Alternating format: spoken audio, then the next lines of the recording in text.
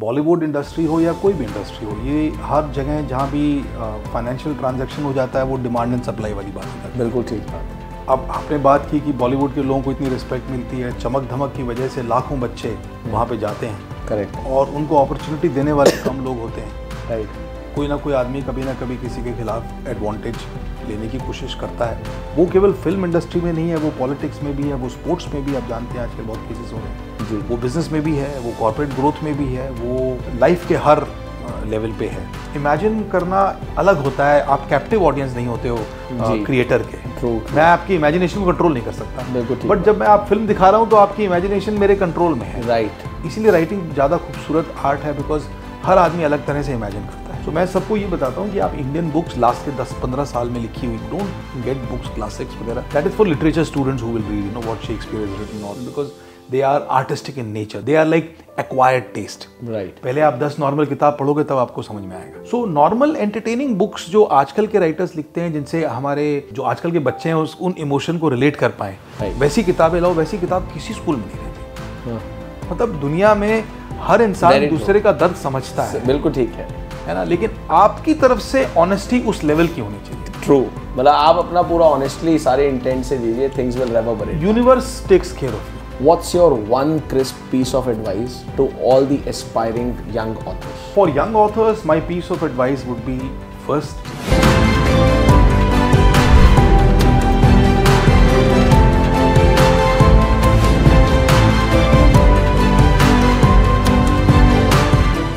सभी को मेरा बहुत बहुत प्यार और एक बारी आप सब लोगों का बहुत बहुत स्वागत और अभिनंदन है।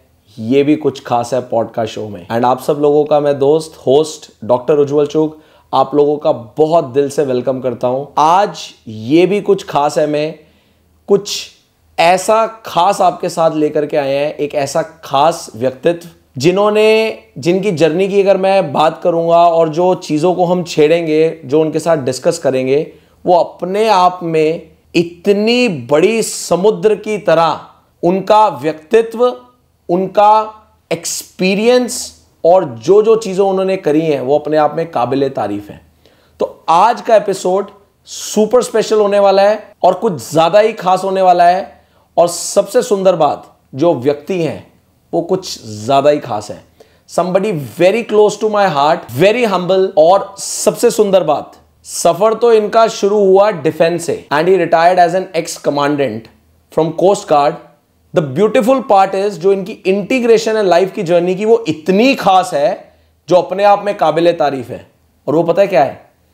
डिफेंस से लेकर के सफ़र है बॉलीवुड इंडस्ट्री का।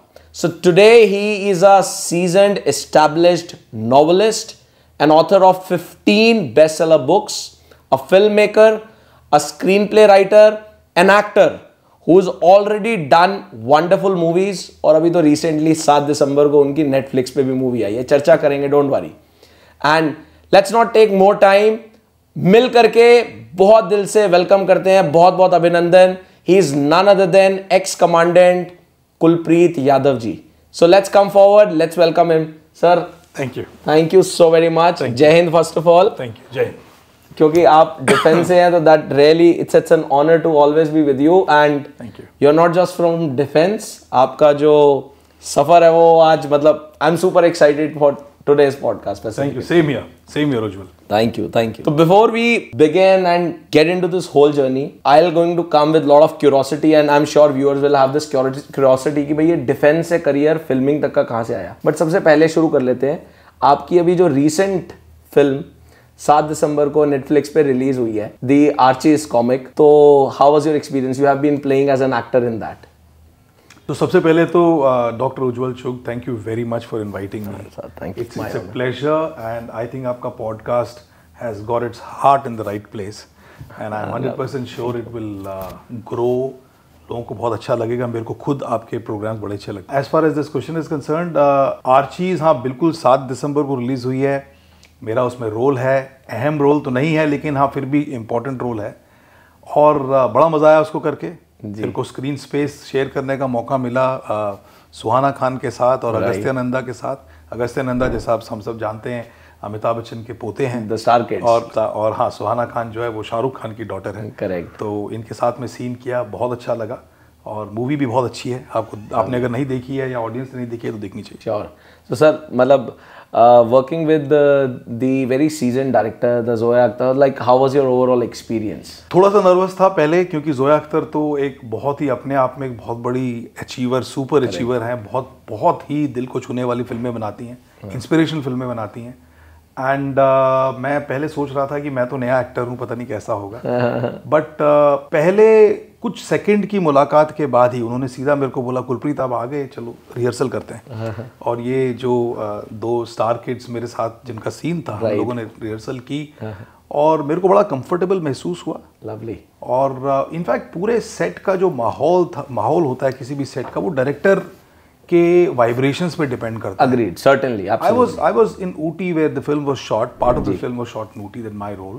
I was there for three ji uh, इतना beautiful environment था पूरे सेट के ऊपर राइट right. हँसी मज़ाक चल रहा है खाना पीना चल रहा है काम भी हो रहा है किसी को कोई स्ट्रेस नहीं है right. और uh, बहुत बहुत अच्छा एक्सपीरियंस रहा लवली लवली तो मतलब when you have been working with the star kids तो ऐसा अक्सर होता है कि जब आप स्टार किड्स होते हैं तो आप शुरू से ही आपका अपब्रिंगिंग और आप पाले इस एनवायरनमेंट में पाल पोस हुई है कि आप बिगड़े हुए होते हैं।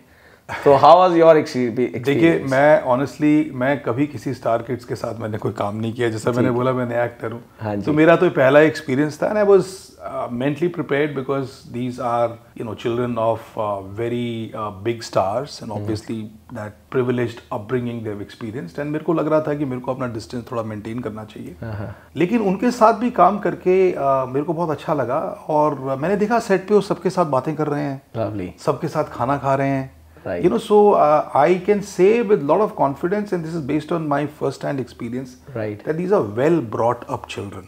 Superb. you know तो घर में उनका एनवायरनमेंट ज़रूर बहुत अच्छा रहा होगा Correct. कि उनका बिहेवियर इस तरह का। ये मैं पाँच मिनट दस मिनट के इंटरेक्शन के बेसिस पे नहीं बोल रहा हम्म, हूँ सेट पे एक एक्टर को नॉर्मली बारह से दस से बारह घंटे रहना पड़ता है। जी जी जी। तो ये तीन दिन लगातार अपने ऑब्जर्वेशन के हिसाब से बोल रहा हूँ। Wonderful children and they also very talented very well behaved and uh, they have the correct attitude and i think they will do extremely well and they so should they, in the they, they industry. made you felt completely respectful very respectful Lovely. and uh, certainly बहुत अच्छा experience रहा lovely lovely so now before we like go forward और बहुत सारी आपसे बातें करनी है बट फर्स्ट ऑफ ऑल ये इंटीग्रेशन समझनी है ईस्ट और वेस्ट मतलब कोई सर नहीं कोई पैर नहीं मतलब generally this is how it's seen it's super less ordinary though you come from a journey of being a less ordinary because फौज is all about that we really create less ordinary but आपका थोड़ा super less ordinary है। फौज retired and then filming तो ये कहाँ से आया सर ये जर्नी स्टार्ट कैसे हुई बॉलीवुड की फिल्मिंग की? बहुत ब्रीफ में थोड़ा सा बैकग्राउंड बता देता हूँ कि uh, मेरे फादर डिफेंस में थे। जी।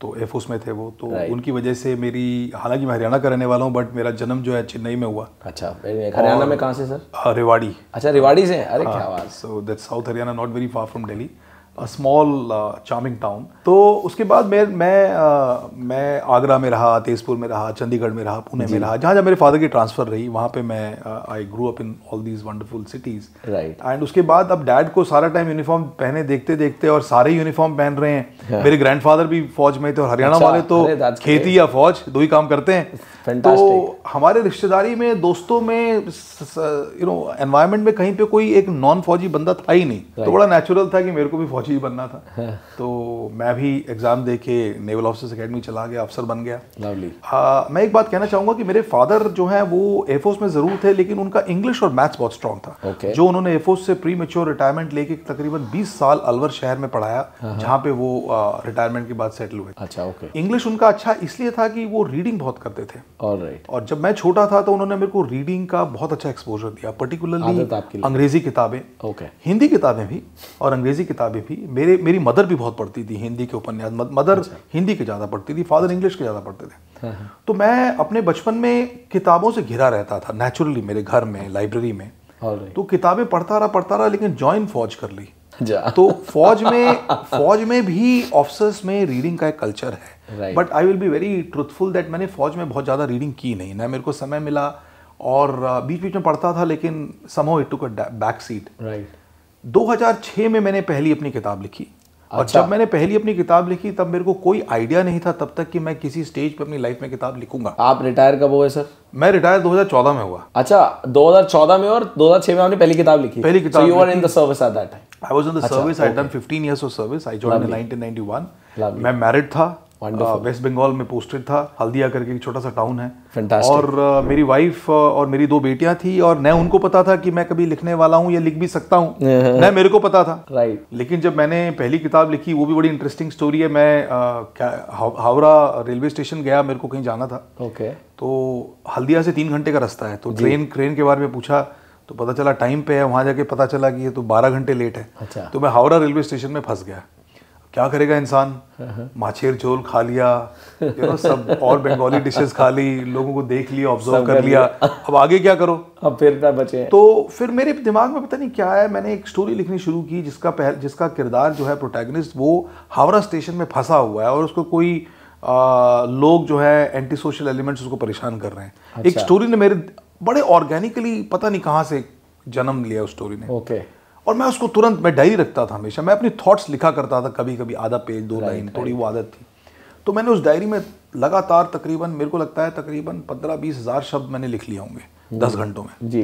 फिर जहाँ जाना था वहाँ चला गया वापस आया मतलब पंद्रह बीस हज़ार शब्द दस अच्छा दैट्स हाँ मतलब it just it it kind of you know there was as if मतलब आपने ट्वेंटी परसेंट नॉवल एक तरीके से कंप्लीट कंप्लीट कर दिया। मेरे को ऐसा लग रहा था कि मैं नहीं लिख रहा हूँ। हाँ। There is some divine energy right who is helping me and my pen is moving even before my mind can understand what I am writing. It really happened like that. Lovely and when I came back to Haldia मैंने अपनी wife को दिखाया मैंने बोला देखिए मैंने ये लिखा है तो वो बहुत हैरान हो गई. बोले किसने लिखा है ये कहानी? बोले मैंने लिखी है. बोला बट आप तो कहानी कब से लिखने लग गए? मैंने बोला मैं, मैंने बोला मेरे को पता नहीं लेकिन मैंने कहानी लिखी है. तो वाइफ भी दिल्ली यूनिवर्सिटी की हैं उनके फादर यहाँ पे अ, वेंकटेश्वरा कॉलेज में मैथ्स के प्रोफेसर थे। अच्छा तो काफ़ी अच्छी अपब्रिंगिंग है तो वो भी उनको पढ़ने का शौक है तो उन्होंने बोला कि मैं पढ़ती हूँ इंग्लिश में थी। उन्होंने पढ़ी उन्होंने बोला यार ये तो अच्छी है। तो मेरे को और कॉन्फिडेंस मिला। राइट फिर मैंने वो पूरी लिख दी। ओके और आ, सच बताऊँ तो मेरी हैंड राइटिंग उसमें इतनी खराब थी लास्ट तक कि मेरे को खुद की हैंड राइटिंग समझ में नहीं आ रही थी। But I was going very fast as if side चल रहा है पेन तो कमाल की बात तो ये है कि मेरी हैंड राइटिंग को समझ के मेरी वाइफ ने उसको टाइप किया पूरा। क्योंकि उस समय मैं कंप्यूटर पे टाइप करना मेरे को आता नहीं था and she was good at typing now of course I am very proficient in doing it. But yeah so she was also an integral part of the whole process the book came out I was very happy मेरे को लगा अरे तो पहली book कब आई आपकी? 2006 2006 में। छः में ओके मेरे को लगा कुलप्रीत तो बहुत बड़ा स्टार बन गया. मैं कलकत्ता में गया बुक लॉन्च हुआ टेलीग्राफ ने कवर किया फिर मैं मद्रास गया वहाँ पे चेन्नई में वहाँ पे बुक लॉन्च हुआ मुंबई में बुक लॉन्च हुआ दिल्ली में बुक लॉन्च हुआ अखबारों में आया मेरे को लगा बहुत बड़ा स्टार बन गया ऐसी फीलिंग आई मेरे को। लेकिन उसके बाद फिर मैंने और जोश में एक और किताब लिखी उसके बाद। उस किताब को किसी ने एक्सेप्ट नहीं किया। अच्छा। वो कभी प्रकाशित ही नहीं हुई आज तक नहीं हुई। तो फ़र्स्ट वाली बुक का क्या नाम था सर फ़र्स्ट वाली बुक का नाम था द बेट द बेट हाँ। ओके और आज मैं पंद्रह किताबें लिख चुका हूँ अगर आप मेरे से पूछेंगे तो मेरे को वैसे मेरा उसके बारे में बा, बात करते वक्त थोड़ा सा आ, शर्म आती है बिकॉज़ वो बहुत ही ऑर्डिनरी अटेम्प्ट है। Okay okay. बट मैं दर्शकों को बोलना चाहता हूँ कि आप जो भी ज़िंदगी में पहली बार करेंगे वो हमेशा ऑर्डिनरी ही होगा। सर्टेन आप स्पोर्ट्समैन हैं आप एकेडमिक हैं आप बिज़नेस कर रहे हैं हर चीज़ में आपको फेलियर होगा ऑर्डनरीनेस आएगी। बट उस उसी के बेसिस पे आगे फाउंडेशन पे very well very well said very well said तो दूसरी किताब किसी ने नहीं की? मैंने बोला कोई बात नहीं जोश में तीसरी किताब लिखी। तीसरी किताब अब किताब लिखने में एक साल लगा मेरे को। दूसरी में एक साल लगा तीसरी तीसरी भी किसी ने नहीं की मेरे पहले प्रकाशक ने ही दोनों किताबें मना कर दी। अच्छा। तब मेरे को थोड़ा सा मतलब मेरे मेरे को कॉन्फिडेंस मेरा खत्म हो गया कि यार तू लिख भी सकता है ये तो तेरे सारे फौजी लोग हैं जो तालियाँ बजा रहे हैं। आ, कहीं ऐसा तो नहीं पहला बस नहीं कहीं नहीं कहीं ऐसा तो नहीं है कि तू लिख ही नहीं पाता है ये तो क्या घर वाले तो बोलेंगे ही बच्चा लिखा है। हाँ ठीक है मेरे जूनियर ऑफिसर जो मेरे अंडर हैं वो तो बोलेंगे कि सर क्या बात है? है ना? मम्मी डैडी बोलेंगे भाई बहन बोलेंगे। तो कहीं ऐसा तो नहीं है कि तू है ही राइट तो उस चक्कर में दो तीन साल निकल गए मेरे मेरे को बड़ी मायूसी हुई। फिर मेरे को किसी ने गाइड किया कि ऑनलाइन मैंने रिसर्च करता रहता था कि अगर आपको अच्छी नॉवल लिखनी है तो आपको एक अच्छी शॉर्ट स्टोरी लिखनी चाहिए ओके okay. तो शॉर्ट स्टोरी लिखने की प्रैक्टिस करनी चाहिए बिकॉज़ शॉर्ट स्टोरी में वही पाँच एलिमेंट्स होते हैं जो नॉवल में होते हैं ओके ठीक तो है। मैंने शॉर्ट स्टोरी मैं बोला शॉर्ट स्टोरी लिखता हूँ तो मैंने काफ़ी सारी शॉर्ट स्टोरीज लिखी।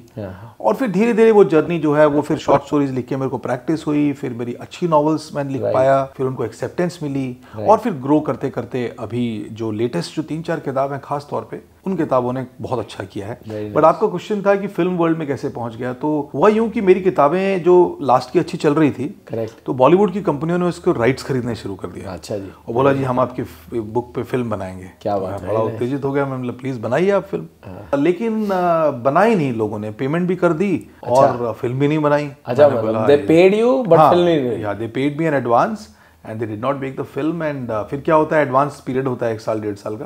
तो फिर मैंने किसी किसी बुक के लिए और लोग आ गए कि हमको दे दो अब। हाँ। उसने नहीं बनाई तो हम बनाएँगे उनको दी उन्होंने भी नहीं बनाया उन्होंने भी पैसे दे दिए। तो पैसे तो आ रहे हैं लेकिन फ़िल्म नहीं बन रही है जो मेन पर्पज है। तो फिर मेरे को लगा कि क्या करूँ? तो मेरे एक बहुत अच्छे फ्रेंड हैं हमारी ऑर्गेनाइजेशन के रिटायर्ड कमांडेंट दिनेश कुमार चौहान। अ, वो बॉम्बे में पोस्टेड थे तो उनसे एक बार मेरी बात हो रही थी। उन्होंने बोला सर मेरे से जूनियर है हम बनाते हैं। अच्छा। मैंने बोला हम कैसे बनाएँगे फ़िल्म हाँ। मेरे को तो बात आती नहीं फ़िल्म बनानी। बोला आती तो मेरे को भी नहीं है लेकिन मेरे को कॉन्फिडेंस है कि बना पाएँगे। अच्छा जी। तो उज्जवल जी हमने अभी वो जर्नी स्टार्ट हुई दो साल पहले तो अभी तक हम छह शॉर्ट फिल्म्स क्या बात है। बना चुके कमाल हैं वेरी नाइस दो रिलीज़ होने वाली हैं हमने दो सॉन्ग भी प्रोड्यूस किए हैं। वेरी नाइस ये- ये शॉर्ट फ़िल्म वाले भी क्या हुआ कि जब शॉर्ट फ़िल्म बनाई तो एक शॉर्ट फ़िल्म में हमारे पास एक्टर नहीं थे। अच्छा तो आपने कहा एक्टर भी हाँ तो चौहान साहब ने चौहान साहब ने बोला कि आप एक्टिंग कर लो मेरे को। तो from there the acting journey start मैंने बोला मेरे को एक्टिंग आती नहीं। क्या बात है। बोला सर आपको राइटिंग कहाँ आती थी?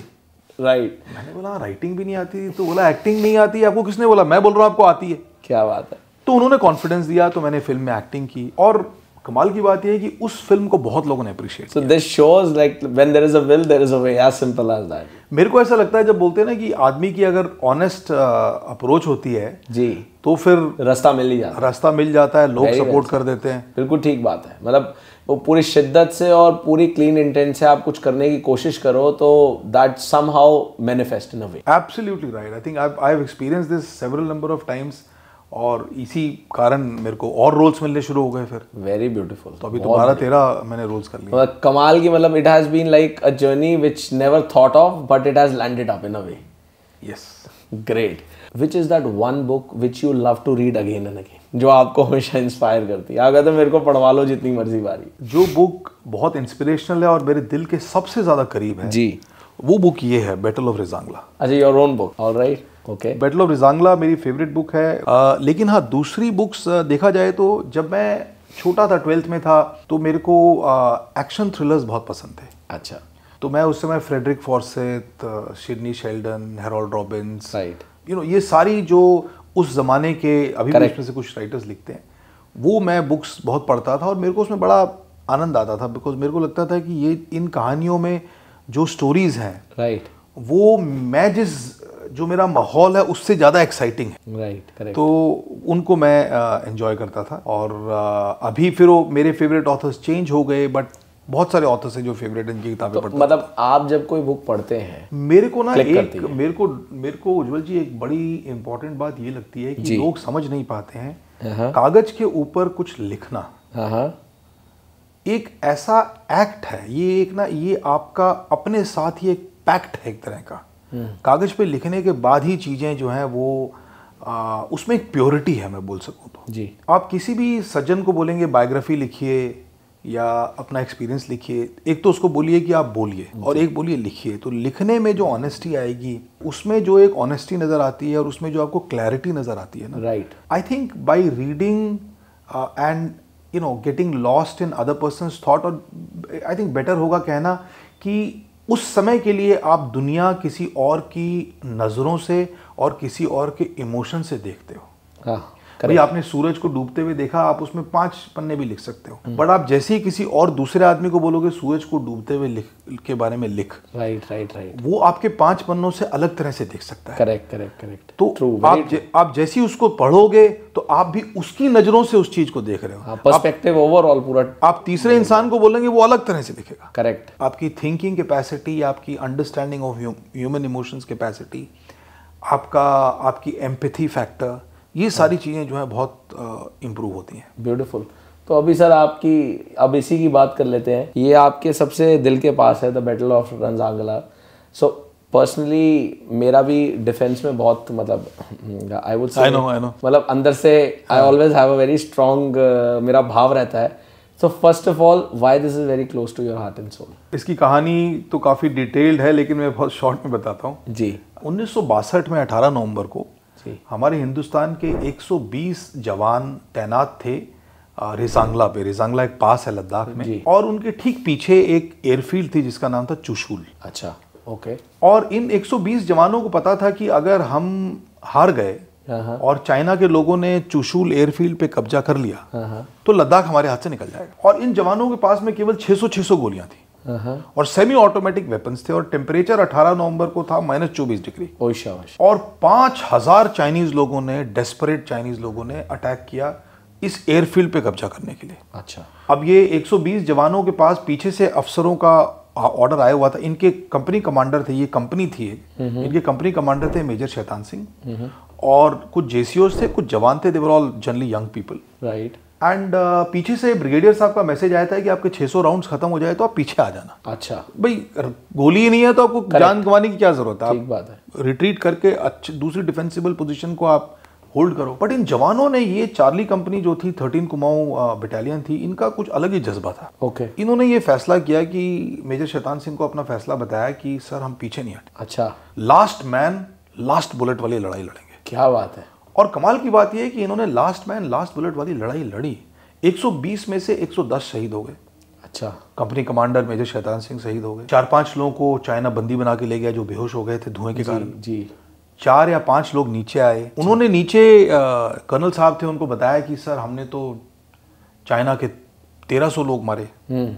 और चाइना ने इस लड़ाई के बाद में अगले दिन सीज फायर डिक्लेयर कर दिया। अच्छा। तो वो एयरफील्ड भी बच गई। राइट तो इन जवानों की बात पे विश्वास नहीं किया। अच्छा। क्योंकि कर्नल साहब ने बोला ब्रिगेडियर साहब ने बोला कि यार तुम तो झूठ बोल रहे हो। अच्छा जी। 120 लोग कैसे ब, ब, बचा सकते हैं? कैसे इतने बड़े but पाँच हज़ार लोगों को कैसे वो कर सकते हैं? ऐसे तो देखिए हमारे इतिहास में इतनी बड़ी जो सरागाड़ी की फोर्ट है उस पे आता ही है जहाँ 21 सिख खड़े हुए थे। हाँ बिल्कुल उसी- इतना बड़ा डिफीट करा। हाँ हाँ उस, उसी तरह की ये कहानी है सारागढ़ी जैसी बिल्कुल। लेकिन इसकी कहानी और एक, में एक इंटरेस्टिंग पहलू ये है कि उनको सबको डांट दिया गया। अच्छा। और हिंदुस्तान आर्मी बिकॉज़ बासठ की लड़ाई में बहुत बुरी तरह से हार चुके थे तो हमने हम देखने भी नहीं गए कि क्या हुआ उन जवानों के साथ अफसरों के साथ। अच्छा ओके। और कमाल की बात यह है कि ये हुआ था 28 नवंबर को और मिड फरवरी में गडरिया लद्दाख का लोकल गडरिया ये लोग क्या करते हैं जब ज़्यादा ठंडी होती है तो लोअर ऑल्टीट्यूड पे चले जाते हैं। वो ऊपर आया देखने के लिए कि बर्फ़ वगैरह पिघली है कि नहीं। तो जब वो रिजांगला पे आया तो उसने देखा कि सारे ट्रेंचेस में अभी भी जवान हमारे खड़े हुए हैं बंदूक लेके। अच्छा। सबके सीने पे गोलियाँ लेकिन जमे हुए हैं बर्फ़ में बिकॉज़ तब भी minus ten minus twelve degrees होगा। ओके तो आप सोचिए वो क्या मंजर रहा होगा। मैं तो जब भी सोचता हूँ तो मेरे रोंगटे खड़े होते अभी भी हो मैं आप सुन के ही I can have goose bumps इस चीज़ को। हंड्रेड टेन जवान्स। नहीं तो इस एक भी बंदा पलटा नहीं है पीठ पे गोली नहीं सबके छाती पे गोली। अब वो बर्फ़ में जम चुके हैं। ये तो अपने आप में बहुत बड़ी मतलब इससे बड़ी ब्रेवरी और क्या किसी की सो इंडियन आर्मी की ये one of the bravest battle माना जाता है पोस्ट इंडिपेंडेंस सर इसका कहीं भी इतिहास में देखें मैं तो ज़िक्र नहीं I am coming to that so उस गडरिये ने क्या किया? वो भागा भागा गया। हाँ।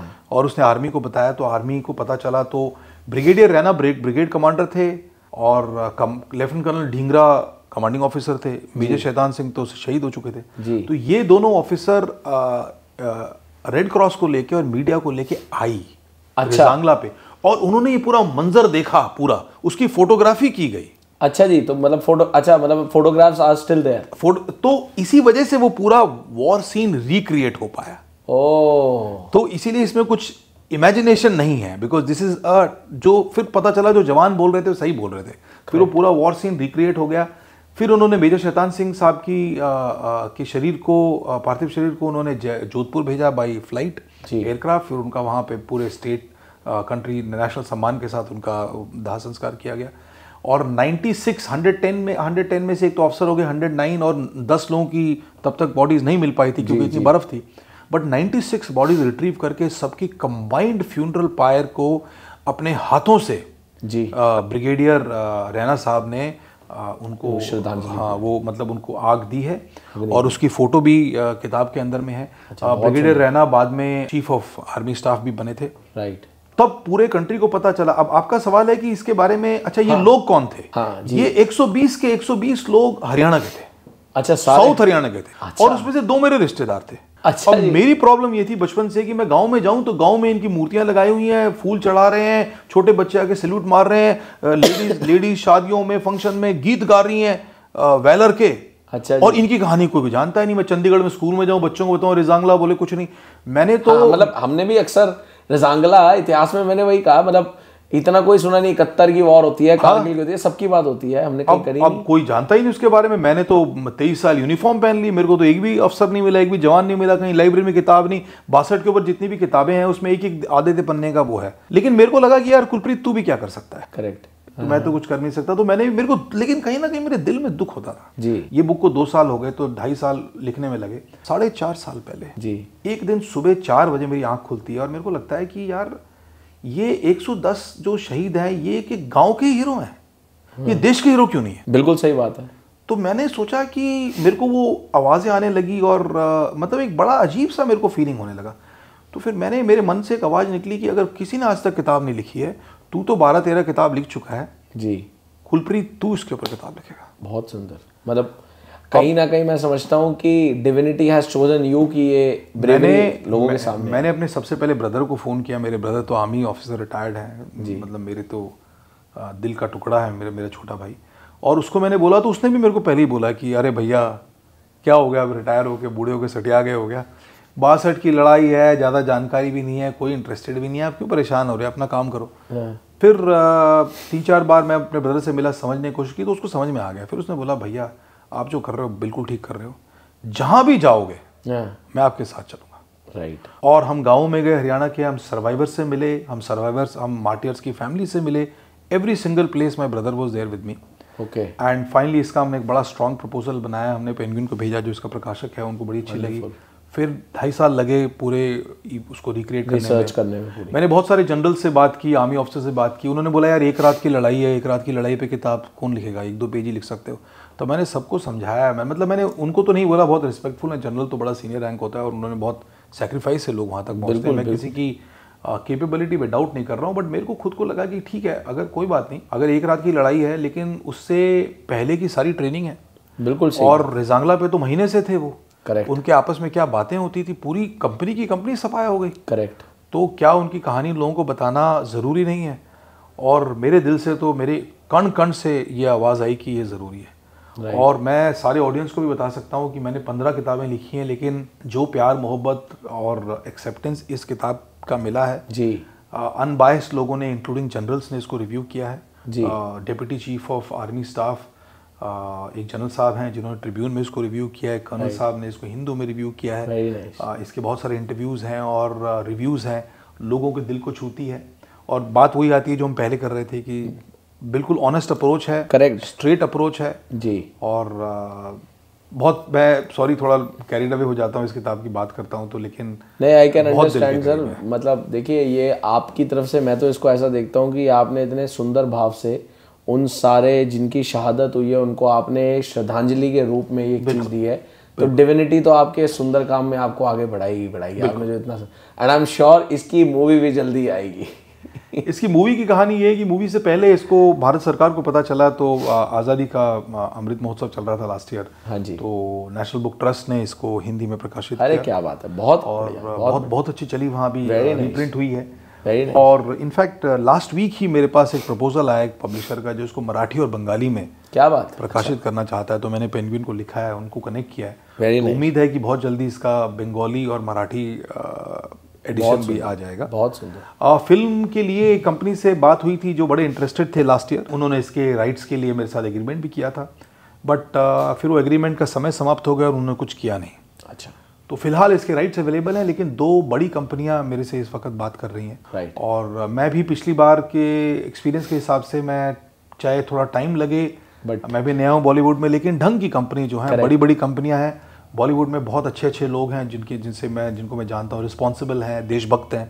मेरे दिल की धड़कन उनकी दिल की धड़कन से मैच हो। करेक्ट जो ऐसे आदमी को ढूंढ रहा हूँ। करेक्ट आई कैन अंडरस्टैंड और वो ज़रूर होगा। किताब आई है तो डेफिनेटली आपने इतना सुंदर काम करा तो वो भी ज़रूर होगा हंड्रेड परसेंट आपने जो बोला कि बैटल ऑफ़ रजांगला में उन जिन्होंने अपनी कुर्बानी दी उनकी शहादत उनकी जो ब्रेवरी है वो लोगों तक आए तो यू टुक एन इनिशिएटिव अब आप बॉलीवुड में भी हैं। आपको कहीं कभी कभी ऐसा लगता नहीं है कि इस ग्लैमर वर्ल्ड में कुछ होता है तो उसको तो बहुत तगड़ी रॉकेट की तरह हाइप मिलती है। बट जब बात आती है फौज की और उस जवान की जिसने तन मन से सब कुछ समर्पित कर दिया उसको वो लाइमलाइट नहीं मिल पाती।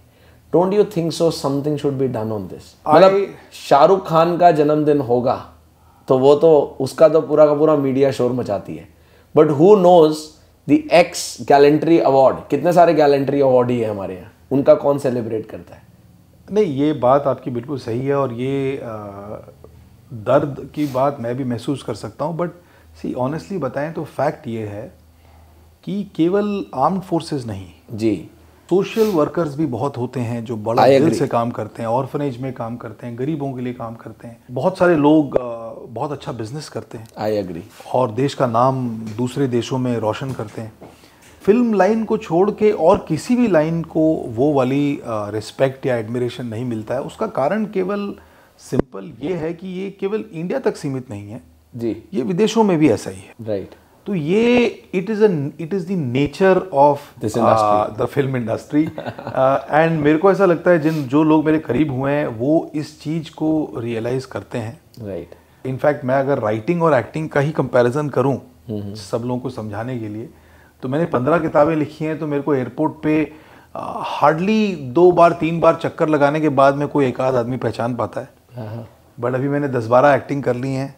अ, जो मेरे हिसाब से मैं बिल्कुल डीमीन नहीं कर रहा हूँ फ़िल्म इंडस्ट्री को। बट जो मेरे हिसाब से मेरे को सत्रह साल लगे पंद्रह फ़िल्म लिख पंद्रह किताबें लिखने में और मैंने दो साल डेढ़ साल में जितनी एक्टिंग कर ली है तो आज मेरे को हर हर एयरपोर्ट विज़िट पे तीन चार लोग पहचान लेते हैं। क्या बात है बहुत बढ़िया। और तो आपको कैसा लगता है when people come and they meet you ज़ाहिर बात है अच्छा लगता है लोग आते हैं और आपको जो आपको जिन्होंने आपको स्क्रीन पे देखा हो और फिर आपको रियल में देखते हैं तो उनकी आँखों में एक अलग सी यू नो एक एंटिसिपेशन रहता है एक चमक रहती है। जी जी वो आपको बहुत लंबे समय तक देखते रहते हैं। राइट और चाहते हैं कि आप उनके लिए कुछ ऑटोग्राफ वगैरह करो। Correct. तो अभी उस उतने बड़े लेवल पे तो नहीं गया हूँ मैं लेकिन हाँ अच्छा ज़रूर लगता है और अ, मेरे से जो भी फ़ोटो खिंचवाता है सेल्फी या ऑटोग्राफ वो कर दें।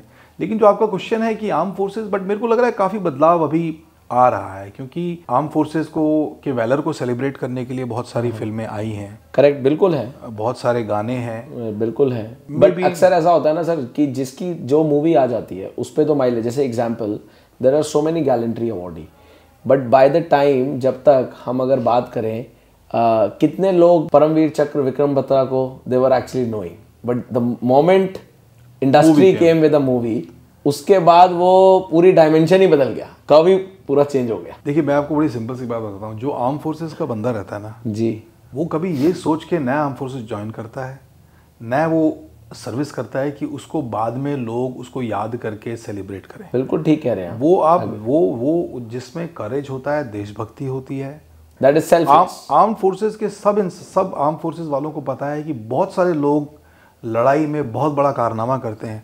लेकिन क्योंकि उनको उनके सीनियर देख नहीं पाते हैं जी। तो उनकी साइटेशन नहीं जा पाती उनको अवार्ड नहीं मिल पाता। अग्रीड आई अग्री इसीलिए मेरा मानना यह है कि हमारे को सारे गैलेंट्री अवार्ड विनर को सैल्यूट करना चाहिए। जी। और जो आर्म फोर्सेस में आज की डेट में सर्विस कर रहे हैं उनको भी सैल्यूट करना चाहिए। सर्टेनली एब्सोल्युटली जैसे अमेरिका में उनको वो अनाउंसमेंट कुछ जेस्टर्स कर सकते हैं। अमेरिका में अच्छा ही जेस्चर करते हैं कि आर्म फोर्सेस का कोई अगर रिटायर्ड ऑफिसर या सर्विंग ऑफिसर सिविल कपड़ों में होगा अगर वो प्लेन में ट्रैवल कर रहा है तो एयर हॉस्टेस अनाउंसमेंट कर देती है कि आज हमारे साथ सो एंड सो. हैं और we are grateful to him you know as a nation and absolutely सब लोग खड़े करके खड़े होकर होके क्लैप करते हैं तो अ, जो अ, होता है आर्म फोर्सेस का जी, जी, know, लड़का या लड़की उसको अच्छा लगता है।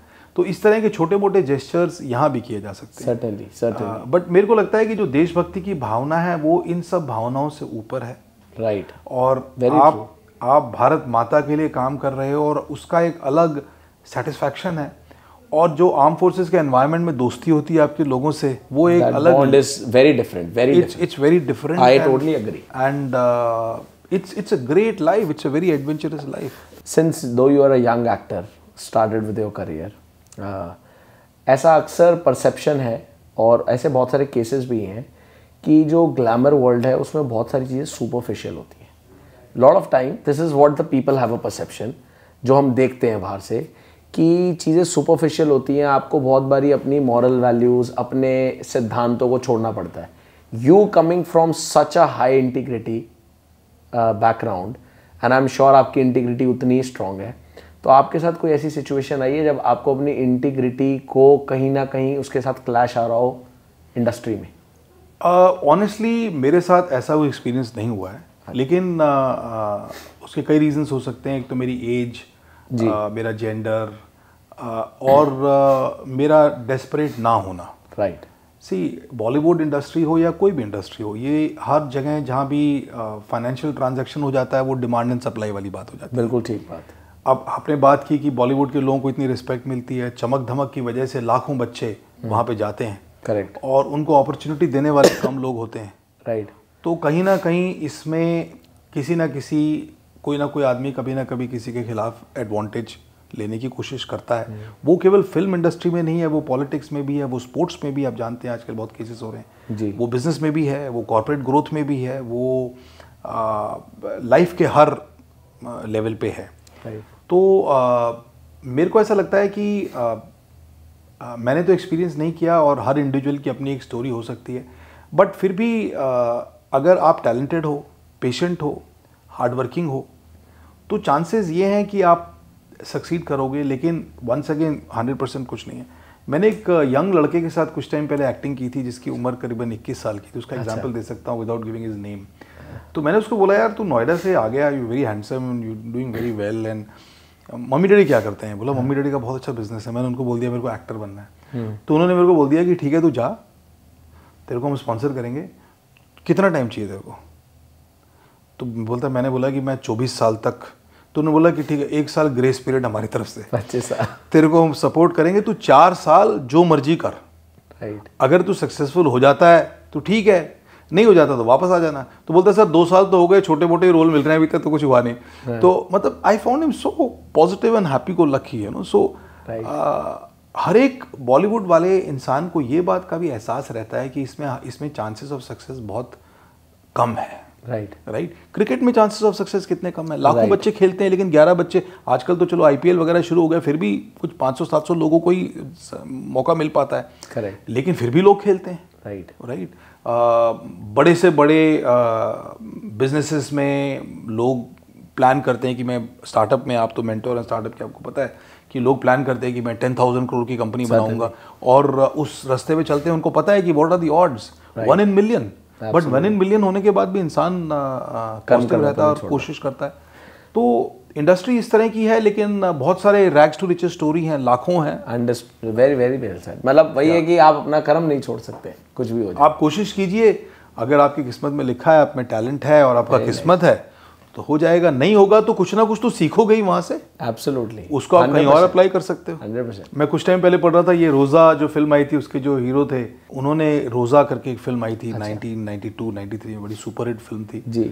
अरविंद स्वामी। अच्छा अरविंद स्वामी साउथ के बहुत बड़े हीरो थे very good looking very talented very good but दो तीन साल के बाद उन्होंने छोड़ दिया और uh, मतलब कम कर, काम करना कर दिया और बिज़नेस कुछ स्टार्ट किया। मैं कुछ टाइम पहले पढ़ रहा था शायद कुछ एटीन थाउज़ेंड करोड़ या इस तरह का फिगर जो मेरे को हल्का सा याद आ रहा है इतना बड़ा आज की डेट में उनका बिज़नेस सिस्टम एम्पायर बना तो अगर आप किसी इंडस्ट्री में जा रहे हो जो डिमांड एंड सप्लाई की प्रॉब्लम है और आप तरह तरह की स्ट्रगल से गूद रोज बीत गुजर रहे हो आप स्ट्रैटेजी बना रहे हो स्ट्रगल से निकलने की फिर फंस जाते हो फिर कुछ करते हो फिर फंस जाते हो लेकिन अगर कुछ भी नहीं हो पाएगा तो एक दो साल में आप कम से कम पक्के तो हो जाओगे। करेक्ट यू नो वो अंग्रेज़ी कहावत है ना whatever doesn't kill you makes you stronger stronger absolutely very well said So, being a very well established novelist and a writer, what's your one crisp piece of advice to all the aspiring young authors? For young authors, my piece of advice would be first read. Okay. Read at least 100 books. Shiddat ke saath, try to review them,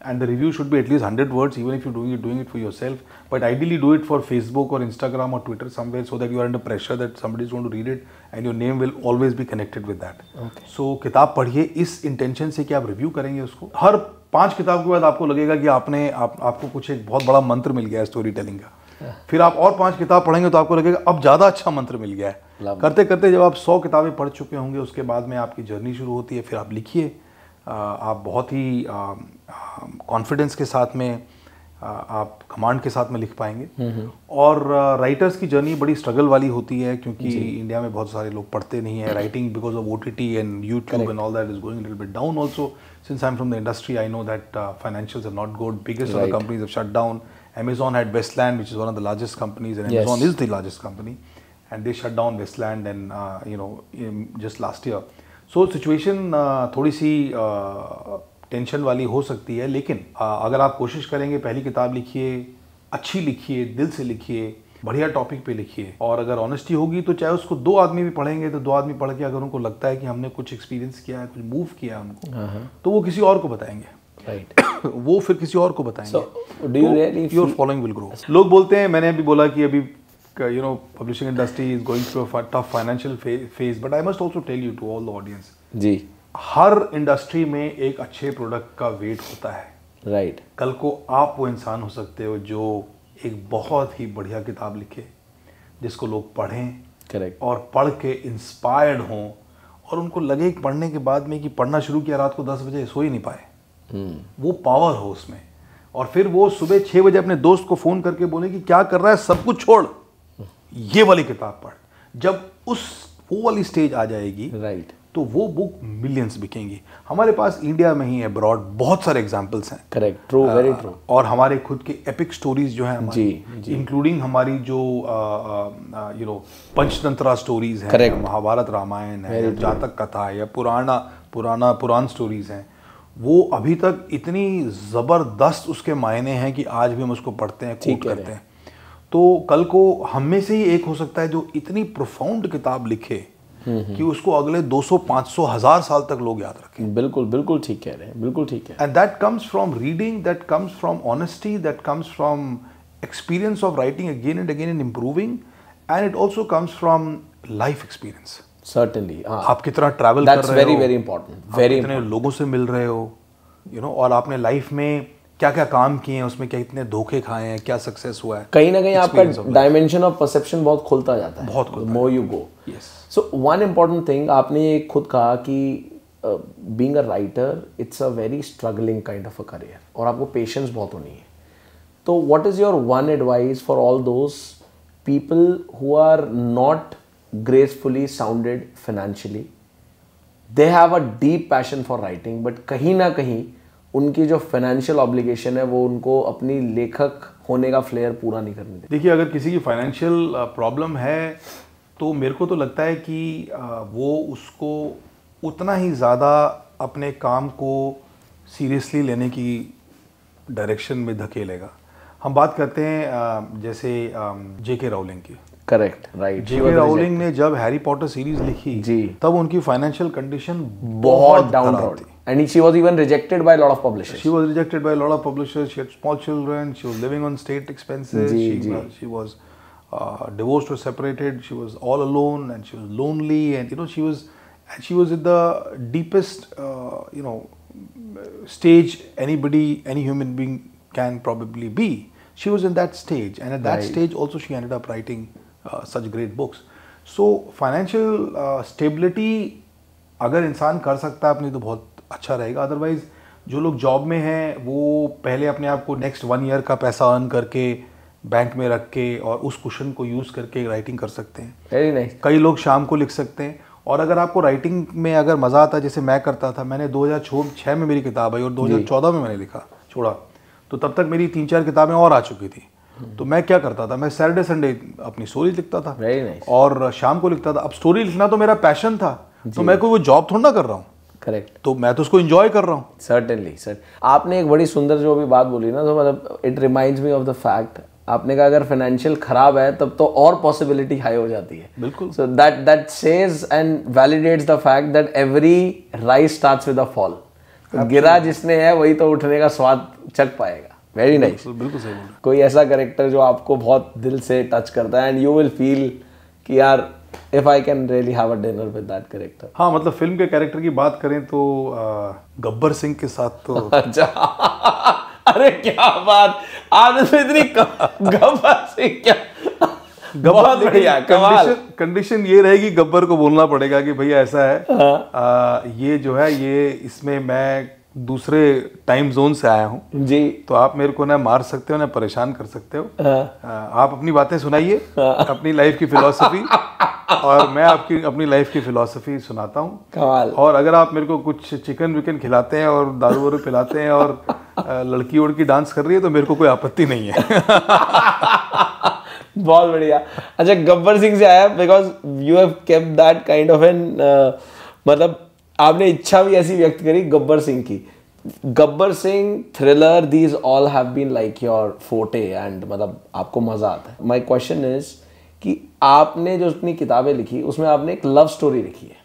I am not wrong you just it for me तो ये love story कहाँ से आ गई बीच में? ये कहाँ से ये ये लव स्टोरी भी मेरे एक्टिंग के जैसे एक बड़ा हैप्पी एक्सीडेंट है। ओके अ, हुआ ये कि मैं जब तीन चार किताबें लिख चुका था तो मैं अपने आप को सोचने लगा कि यार कुलप्रीत तू तो बहुत बड़ा राइटर हो गया है। हाँ हाँ। तो ऐसे ही मैं अपनी वाइफ से एक दिन बात कर रहा था मैं बोला यार ये कितनी बेकार बेकार लोग रोमांस पिक्चरें बनाते हैं रोमांस सीरियल बनाते हैं रोमांस किताबें लिखते हैं। अ, मैं सोच रहा हूँ मैं एक रोमांस नॉवल लिखूँगा। हर एक दिन। तो मेरी वाइफ हंसने लग गई। हाँ। तो मैंने तुम हंस क्यों रहे हो यार? तुमको भरोसा नहीं कि मैं लिख पाऊँगा? तो शी सर बिल्कुल नहीं लिख पाओगे। जिस इंसान को रोमांस आता नहीं वो रोमांस लिखेगा कैसे? तो फिर मैंने बोला अब तो मैं हंड्रेड परसेंट लिखूँगा। दुनिया की बेस्ट रोमांस नॉवल लिखूँगा। क्या बात है। अब बोल के मैं अपने स्टडी में चला गया एक, एक बेडरूम को अपने स्टडी बनाया हुआ है हमारे घर में। हाँ हाँ। दरवाज़ा बंद कर लिया मैंने बोला ये पंगा तो ले लिया लेकिन रोमांस नॉवल लिखो कैसे? हाँ। क्योंकि रोमांस स्टोरी में कोई विलन नहीं होता है। और हमने तो सारी कहानियाँ थ्रिलर देखते हैं इसमें हीरो विलन की लड़ाई। हाँ, हाँ, करेक्ट इसमें अगर लड़ाई नहीं होगी तो क्या स्टोरी ठीक बात तो है। मैंने बोला कुलप्रीत कुछ तो करना पड़ेगा एक काम कर शॉर्ट स्टोरी लिख दे। हम्म। तो I started writing short story of a guy lost his wife to cancer is got a small child and doesn't know what to do with his life उसकी thinking about commitment about being in love with his ex wife and wife which is no more will he ever get interest in another woman और not with that basic thought i thought I'll, i i started writing a short story. Probably the length that i had in my mind was दो तीन हज़ार शब्दों की एक story लिख लेता हूँ। हाँ हाँ।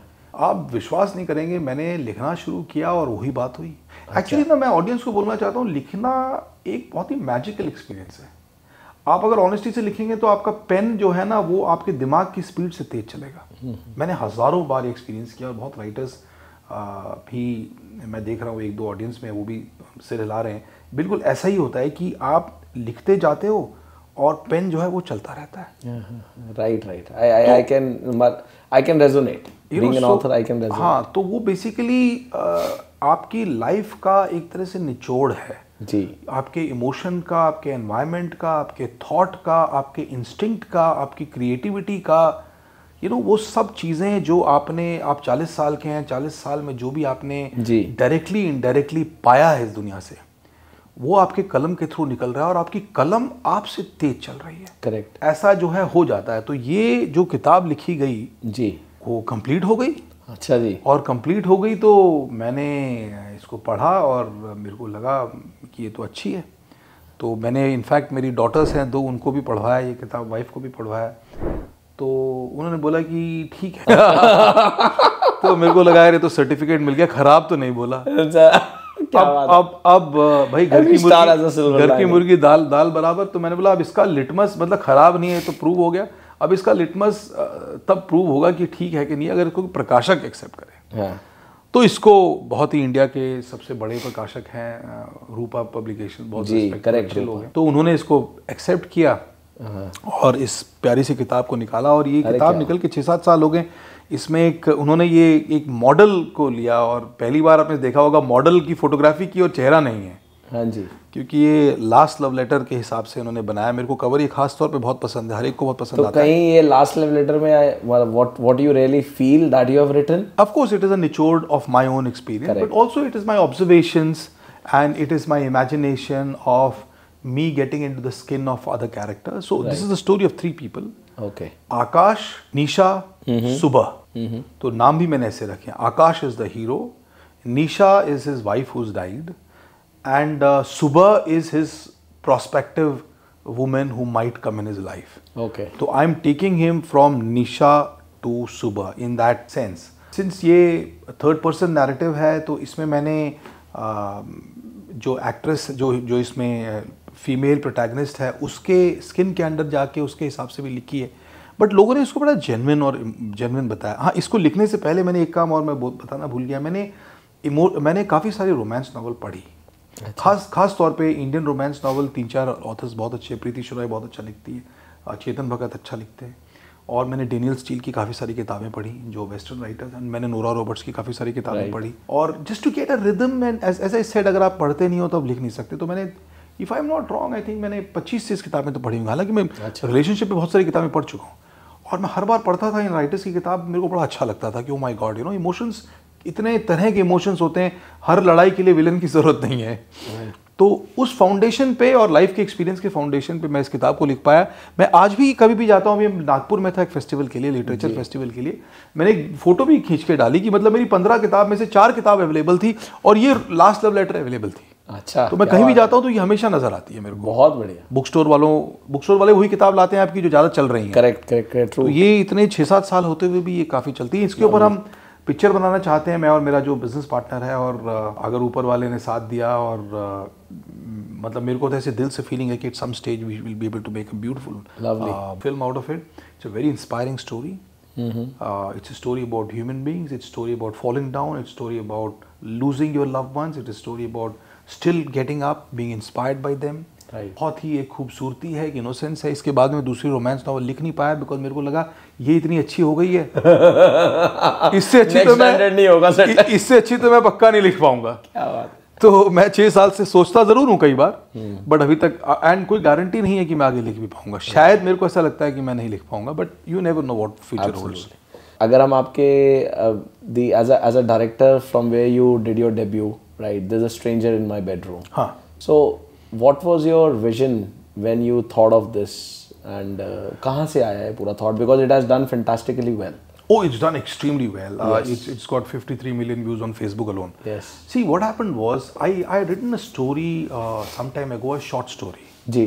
Uh, जिसको uh, एक लिटरेरी मैगजीन ने पब्लिश किया था। उनके एडिटर ने मेरे को एक बहुत ही बड़ा थम्सअप भेजा था कि बहुत अच्छी इमोशनल स्टोरी कहानी ये है कि एक आदमी घर पे आता है यंग लड़का और उसकी बीवी जो है उसकी बीवी के साथ कोई और है घर पे। अच्छा। और वो बड़ा नाराज़ हो जाता है इस बात से। उसकी बीवी उसको बोलती रहती है कि ऐसा नहीं है जैसा आप समझ रहे हो।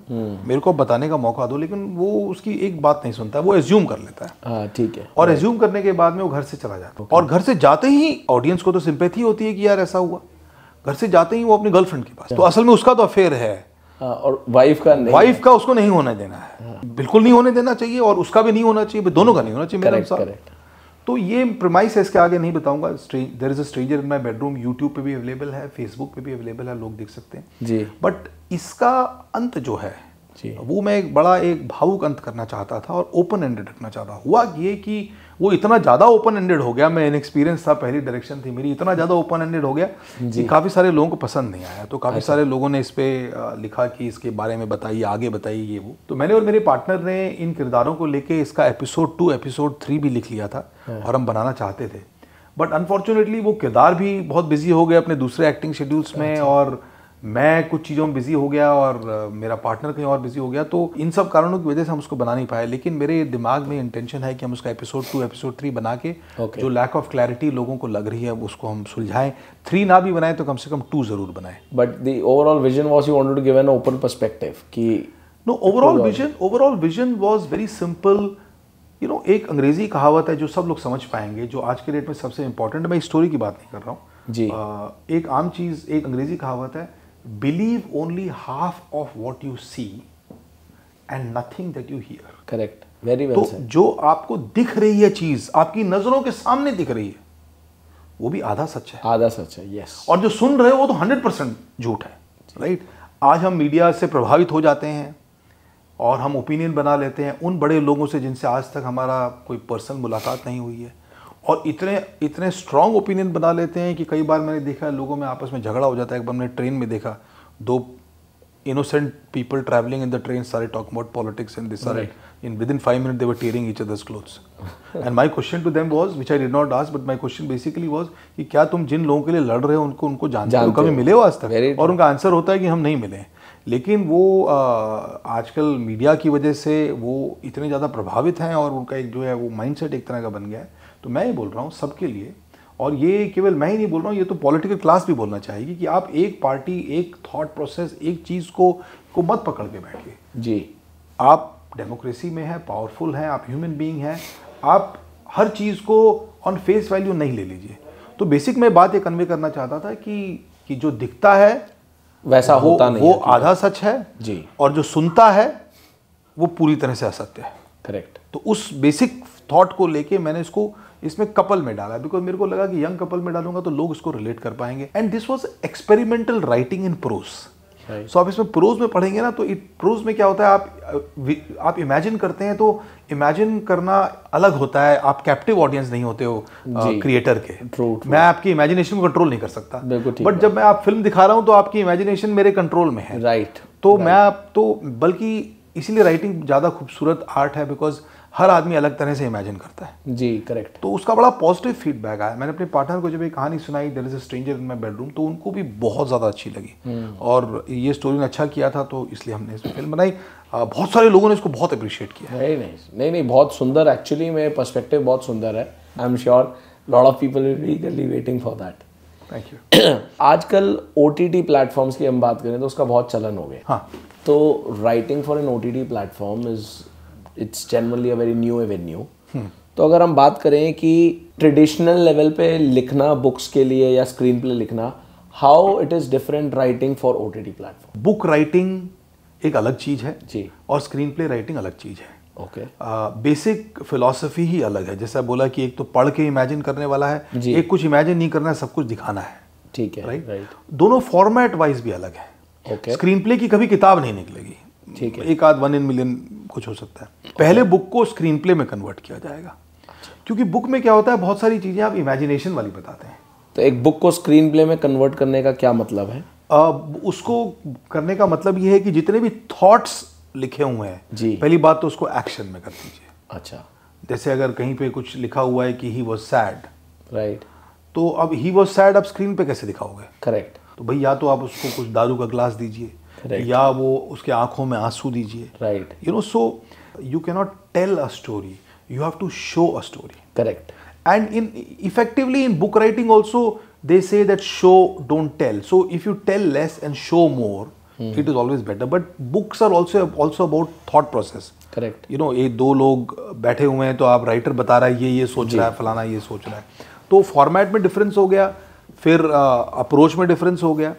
So screen play writer screen play writer अलग तरह से करता है। मैं मैंने कुछ स्क्रीन छः स्क्रीन प्लेज अपनी शॉर्ट फिल्म्स के लिखे हैं। और uh, मैं अभी फ़िलहाल दो लोगों के साथ कोलैबोरेट करके स्क्रीन प्ले लिख रहा हूँ ओ के लिए। Okay okay. तो इस फ़ील्ड में मैं आ चुका हूँ।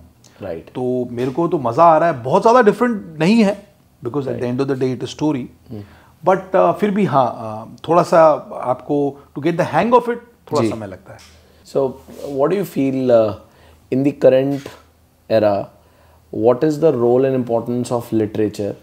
When we predominantly talk about वो एज ग्रुप जो डिजिटल मीडिया से बहुत ज़्यादा इन्फ्लुएंस्ड है। हाँ ये ये बहुत ही बड़ी uh, uh, समस्या है आज की डेट में कि पहले बच्चे कॉमिक्स और स्टोरी बुक्स पढ़ के बड़े होते थे। जी। अब वो यूट्यूब के videos you know baby shark mama shark father shark पढ़ के वो बड़े हो रहे हैं देख के बड़े हो रहे हैं। तो ये अपने आप में समस्या है बहुत बड़ी समस्या है। इसका मेरे पास भी कोई सोल्यूशन नहीं है बिकॉज़ देखने में ज़्यादा मज़ा आता है इंस्टेंटली राइट right. तो स्कूल स्कूल्स के लेवल पे घर के लेवल पे लोग जो समझते हैं इस बात को वो काफ़ी कुछ कर रहे हैं।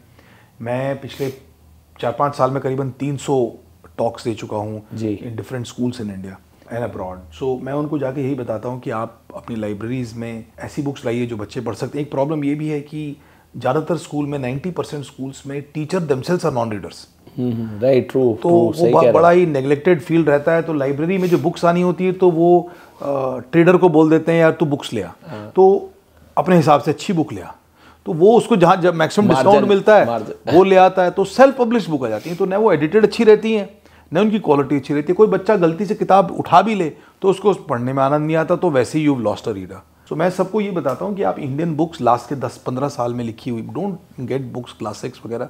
क्लासिक्स भी चाहिए but classics should only be one tenth of your you know entire inventory in the library because that is for literature students who will read you know what Shakespeare has written or William Wordsworth what, what, what, Wordsworth has written because they are artistic in nature they're Right. literary in nature they are for different kind of uh, they are like acquired taste right पहले आप 10 normal किताब पढ़ोगे तब आपको समझ में आएगा जी सो नॉर्मल एंटरटेनिंग बुक्स जो आजकल के राइटर्स लिखते हैं जिनसे हमारे जो आजकल के बच्चे हैं उस उन इमोशन को रिलेट कर पाए Right. वैसी किताबें लाओ वैसी किताब किसी स्कूल में नहीं रहती हाँ और मैं उनको बताता हूँ तो धीरे धीरे बदलाव आ रहा है आई एम श्योर मेरे जैसे और बहुत सारे लोग कोशिश करते हैं। अब बच्चों के बुक फेस्टिवल होने लगे Correct. हैं नेशनल बुक ट्रस्ट काफ़ी कुछ कोशिश Yes, करता yes, है। yes. आ, आप भी आई एम श्योर जब अपने लेक्चर में जाते होंगे तो कोशिश करते होंगे। तो आ, हमको बस पेरेंट्स को ये बताना है टीचर्स को ये बताना है कि बच्चों को थोड़ा सा डिजिटल मीडियम से दूर रखें राइट जहाँ तक संभव हो। उनको बुक्स का बुक्स पढ़ने दें छोटी मोटी स्टोरीज वगैरह ताकि उनकी इमेजिनेशन ढंग से डेवलप हो। ट्रू वेरी यू नो उनके स्किल्स जो हैं इमेजिनेटिव स्किल्स नहीं that's very very important also because at the end of the day आप डिजिटल मीडिया के साथ रहते रहते कहीं ना कहीं आप अपनी आजकल हेल्थ इश्यूज़ इतने ज़्यादा बढ़ गए हैं। बिल्कुल। Because you charge up your body electronically so high it's very important कौन कौन सी ऐसी लर्निंग्स है जिसने आपको आपकी current Bollywood the place where you are that has really help you where you find it's very instrumental जो मैंने डिफेंस में सीखा आ, बिल्कुल काफ़ी सारी ऐसी क्वालिटीज़ हैं डिफेंस की जो हर फ़ील्ड में काम में आती हैं जी। फ़िल्म इंडस्ट्री नहीं your body posture your language skills Right. Your punctuality your giving respect to elders and giving respect to women in particular Right. you know and being respectful to everyone one. आ, कोई time bound चीज़ दी गई है तो उसको उस time bound पे आप आंसर कर रहे हैं। ये नहीं कि आप किसी का फ़ोन नहीं आप ले पा रहे हैं तो उसको आप कुछ टाइम बाद फिर से फ़ोन कर रहे हैं मैसेज कर रहे हैं। तो ये जो एक बेसिक एटिकेट्स और क्वालिटीज़ होती हैं टेबल पे आप बैठ के खाना खा रहे हैं तो आप एक पर्टिकुलर अगर आप कैजुअल मील भी कर रहे हैं तो there is a body language there is there are table manners that you following you know आप कहीं पार्टी में ड्रिंक कर रहे हैं तो आप एक लिमिट तक ड्रिंक कर रहे हैं। ये नहीं कि आप शराब पी के एकदम जैसे दिल्ली में बोलते हैं हवाई जहाज़ बन गया। और रात को दो बजे मज़ाक के लिए बोल रहा हूँ जो होता है अक्सर हाँ, रात को दो बजे दोस्तों ने बोला शिमला चलते और चार लोग रात को दारू के नशे में शिमला पहुँच गए और शिमला दस बजे पहुँच के सुबह बोल रहे हैं अरे यार यहाँ क्यों आए हम? क्योंकि तब तक उतर गई तो वापस आ गए। तो दिल्ली में ये अक्सर होता है जवानी के नशे में जोश में लोग इस तरह काम करते हैं जो हमको कभी नहीं करने चाहिए। डिफेंस सर्विसेज़ में ये सारी चीज़ें सिखाई जाती हैं और मेरे को लगता है ये आपकी पर्सनालिटी का पार्ट हो जाती है। इसीलिए उज्जवल जी आपको बताऊँ रिटायर्ड डिफेंस ऑफिसर्स किसी भी फ़ील्ड में जाते हैं। जी। अ, चाहे वो कॉरपोरेट में जाते हैं स्टार्टअप में जाएँगे किसी इंटरनेशनल पॉलिटिक्स तक में जाते हैं। राइट तो वो एक अपना एक degree of integrity honesty very true discipline लेकर आते हैं। ट्रस्टवर्दीनेस लेकर आते हैं जिससे वो अच्छा करते हैं। वेरी ट्रू आपने बहुत अच्छी बात बोली और मुझे कहीं ना कहीं ऐसा लगता है कि one of the most important part किसी भी फ़ील्ड में सक्सेसफुल होने के लिए अंदर आपके अंदर एक ठहराव और पेशेंस होनी चाहिए। बिल्कुल। एंड आई बिलीव डिफेंस से बढ़िया वो कोई नहीं सिखाता आपको। बिल्कुल बिल्कुल। बहुत बहुत बहुत सही बोला आपने। पेशेंस तो मतलब आप मतलब एक पेड़ को देख रहे हो तो आप चार दिन तक देख रहे हो। हाँ, क्योंकि कुछ भी होने वाला तो उस पेड़ से ही होने वाला है। Very true defence serving as a commandant over there वो अपने आप में एक बहुत मैं समझता हूँ आपके लिए एक it's it's it's a dream job similarly what you are doing is again a dream job so there is no comparison but still दोनों में से कौन सी जगह में ज़्यादा मज़ा आया? See to be very honest ज़्यादा मज़ा तो डिफेंस में ही आया। अच्छा अरे आ, उसका कारण ये है कि आप आ, आपको मैं एक सिंपल सी बात बताता हूँ। मैं पोर्ट ब्लेयर में एक शिप में ट्रांसफ़र था। रिटायरमेंट से चार पाँच साल पहले पोस्टेड था। पोर्ट ब्लेयर में तकरीबन 560 570 आइलैंड है अंडमान निकोबार में। हाँ जिसमें से कुछ 20-25 ही इनहेबिटेड हैं बाकी अनइनहेबिटेड है। राइट जो अनइनहेबिटेड हैं वो ऐसे आइलैंड हैं जिसपे कभी कोई गया नहीं कभी कोई नहीं गया। न वहाँ कोई बोट जा सकती है न वहाँ कोई शिप जा सकता है बिकॉज़ वो अंडमान निकोबार आइलैंड जो है तकरीबन 900 800 900 किलोमीटर के दायरे में फैले हुए हैं। जैसे हमको मैप पे छोटा लगता है. But it is about 800 900 kilometre it is almost like Mumbai to Delhi to Mumbai distance you know they are spread over that long you know thing अब वो इतना दूर है बाकी मेन लैंड से तो कि वहाँ के कोई जाएगा ही नहीं। जी। लेकिन हाँ सर्विस ऑफिसर होते हुए हम शिप को अच्छा हार्बर तो है नहीं लेकिन शिप को एंकर कर दिया। Correct. बोट अपनी उतारी रबर वाली और लाके जाके चलेगी तो you feel that you know आप इस आइलैंड पे खड़े हो जिसपे कोई जब से हिस्ट्री बनी है हो सकता है 500 साल पहले कोई एक सेलर डच सेलर पाँच मिनट के लिए दस मिनट के लिए खड़ा हुआ होगा। हो सकता है उससे 500 साल पहले किसी कोई कोई आ गया होगा यहाँ पे कोई यू नो एबोरिजिनल आदमी उसने आग जला के मछली बनाई होगी। तो जब से दुनिया बनी होगी शायद इसमें चार पाँच बार ही कोई आया हो। इतने रिमोट आइलैंड्स हैं। जी। तो ये एक्सपीरियंस आप करोड़ों अरबों रुपए लेके भी नहीं कर सकते बिकॉज़ आप पैसों के साथ उसी आइलैंड में जा सकते हैं जहाँ फेरी चलती हो. जहाँ हेलीकॉप्टर लैंड कर जाए। राइट भाई आप ये आइलैंड में तो जब कुछ भी नहीं हो सकता तो हमारा सर्विस का शिप ही जा सकता lovely. So that means फौज आपको उसकी भी एक्सेसिबिलिटी देती है जो पैसे से भी नहीं आ सकती। जो पैसे से भी नहीं आ सकती बिल्कुल सही बोला बहुत बढ़िया। आई कैन रियलाइज़ दिस मतलब मैं अक्सर मेरा फाइटर पायलट बनने का सपना रह गया तो मैं ये अक्सर बोलता था कि यार हवाई जहाज़ तो उड़ा लूँगा बट जो कुछ भी कर लो फाइटर नहीं उड़ेगा। क्योंकि फाइटर तो पैसों से उड़ नहीं सकता। हाँ। नहीं बट मैं बोलना चाहूँगा कि आप पायलट भले ही ना बने हो लेकिन फाइटर तो बनी गए हैं। अरे ना ना ना that's always so kind of you it's your love and and there is no pilot pilot शब्द ही अधूरा है लेकिन फाइटर शब्द अपने आप में पूरा है। पायलट तब पूरा होता है जब फाइटर जुड़ता है। क्या बात। तो आपने मेजर चीज़ तो अचीव कर ली। You are a fighter you are a successful businessman serial entrepreneur doing so many things including talks and books etcetera so you are a true fighter so as an actor actor, writer, screenplay, director, out of all four, which is the best closest to your heart? जो आप कहते हो ये करा लो सबसे मज़ा आता है. मेरे को तो ऐसा लग रहा है इन सब में सबसे ज़्यादा मज़ा तो एक्टिंग में ही आ रहा है। क्या बात है। क्योंकि आपको सेट पे जो स्वागत दिया जाता है क्या बात आप फ़िल्म सेट पे आइए मेरे को पता नहीं था एक्टर को इतना अच्छे से रखते हैं वो आपको एक वैनिटी वैन मिलती है जिसके अंदर एक सोने का जगह होता है एक बैठने का जगह होता है और एक बाथरूम होता है। दमाद की तरह रखा जाता है दमाद की जगह रखा जाता है। लेकिन एक प्रॉब्लम यह है जो मैं महसूस कर रहा हूँ जो वो एक वैनिटी वैन में एक चेयर रखी रहती है इसी टाइप की और सामने बहुत बड़ा ग्लास रहता है और उसमें चारों तरफ़ लाइट लगी होती है। और उस लाइट उस मिरर में जब आप अपने आप को देखते हो तो जो आपकी पर्सनैलिटी है उससे दस गुना ज़्यादा अच्छी पर्सनैलिटी नज़र आती है इतनी लाइट में। तो कहीं ना कहीं वो आपके दिमाग में मेरे को लगता है प्ले करने लगता है और कहीं ना कहीं आप रियलिटी से डिटैच हो जाते हो बिकॉज़ आपको लगने लगता है कि आप मैं जैसा दिख रहा हूँ वैसा ही हूँ और जबकि आप वैसे हो नहीं। राइट और थोड़ा सा नार्सिसिज्म भी आ जाता है बिकॉज़ आप सारा टाइम अपनी को देख अपने को देख रहे हो। Yeah. तो ये प्रॉब्लम है नहीं है मेरे को पता नहीं मैं तो इंस्टिंक्टिवली बोल रहा हूँ बट हाँ सेट पर बहुत अच्छे से ट्रीट किया जाता है। कोई रिस्पॉन्सिबिलिटी नहीं है आपको केवल लाइनें बोलनी है। सब लोग सारा सेट तैयार करेंगे कैमरा लगेगा लाइट लगेगी लोग ऊपर नीचे सब भाग रहे हैं सब कुछ कर रहे हैं और आपको एक असिस्टेंट डायरेक्टर छतरी लेके दरवाज़ा नॉक करेगा और आपको बोलेगा कि सर शॉट तैयार है। क्या बात है। और जैसे ही आप चलने लगोगे तो उसके बाद वॉकी टॉकी रहेगी वो बोलेगा जैसे एक्टर में सपोज़ मेरा नाम जिस गिव एग्जांपल मेरा नाम गौतम है फॉर एग्जांपल वो एक्टर का नाम नहीं लेते हैं वो कैरेक्टर का नाम लेता है। अगर मेरा कैरेक्टर नाम गौतम है तो बोलेगा Gautam started from vanity van will be reaching in two minute जितना भी वॉकिंग डिस्टेंस होगा।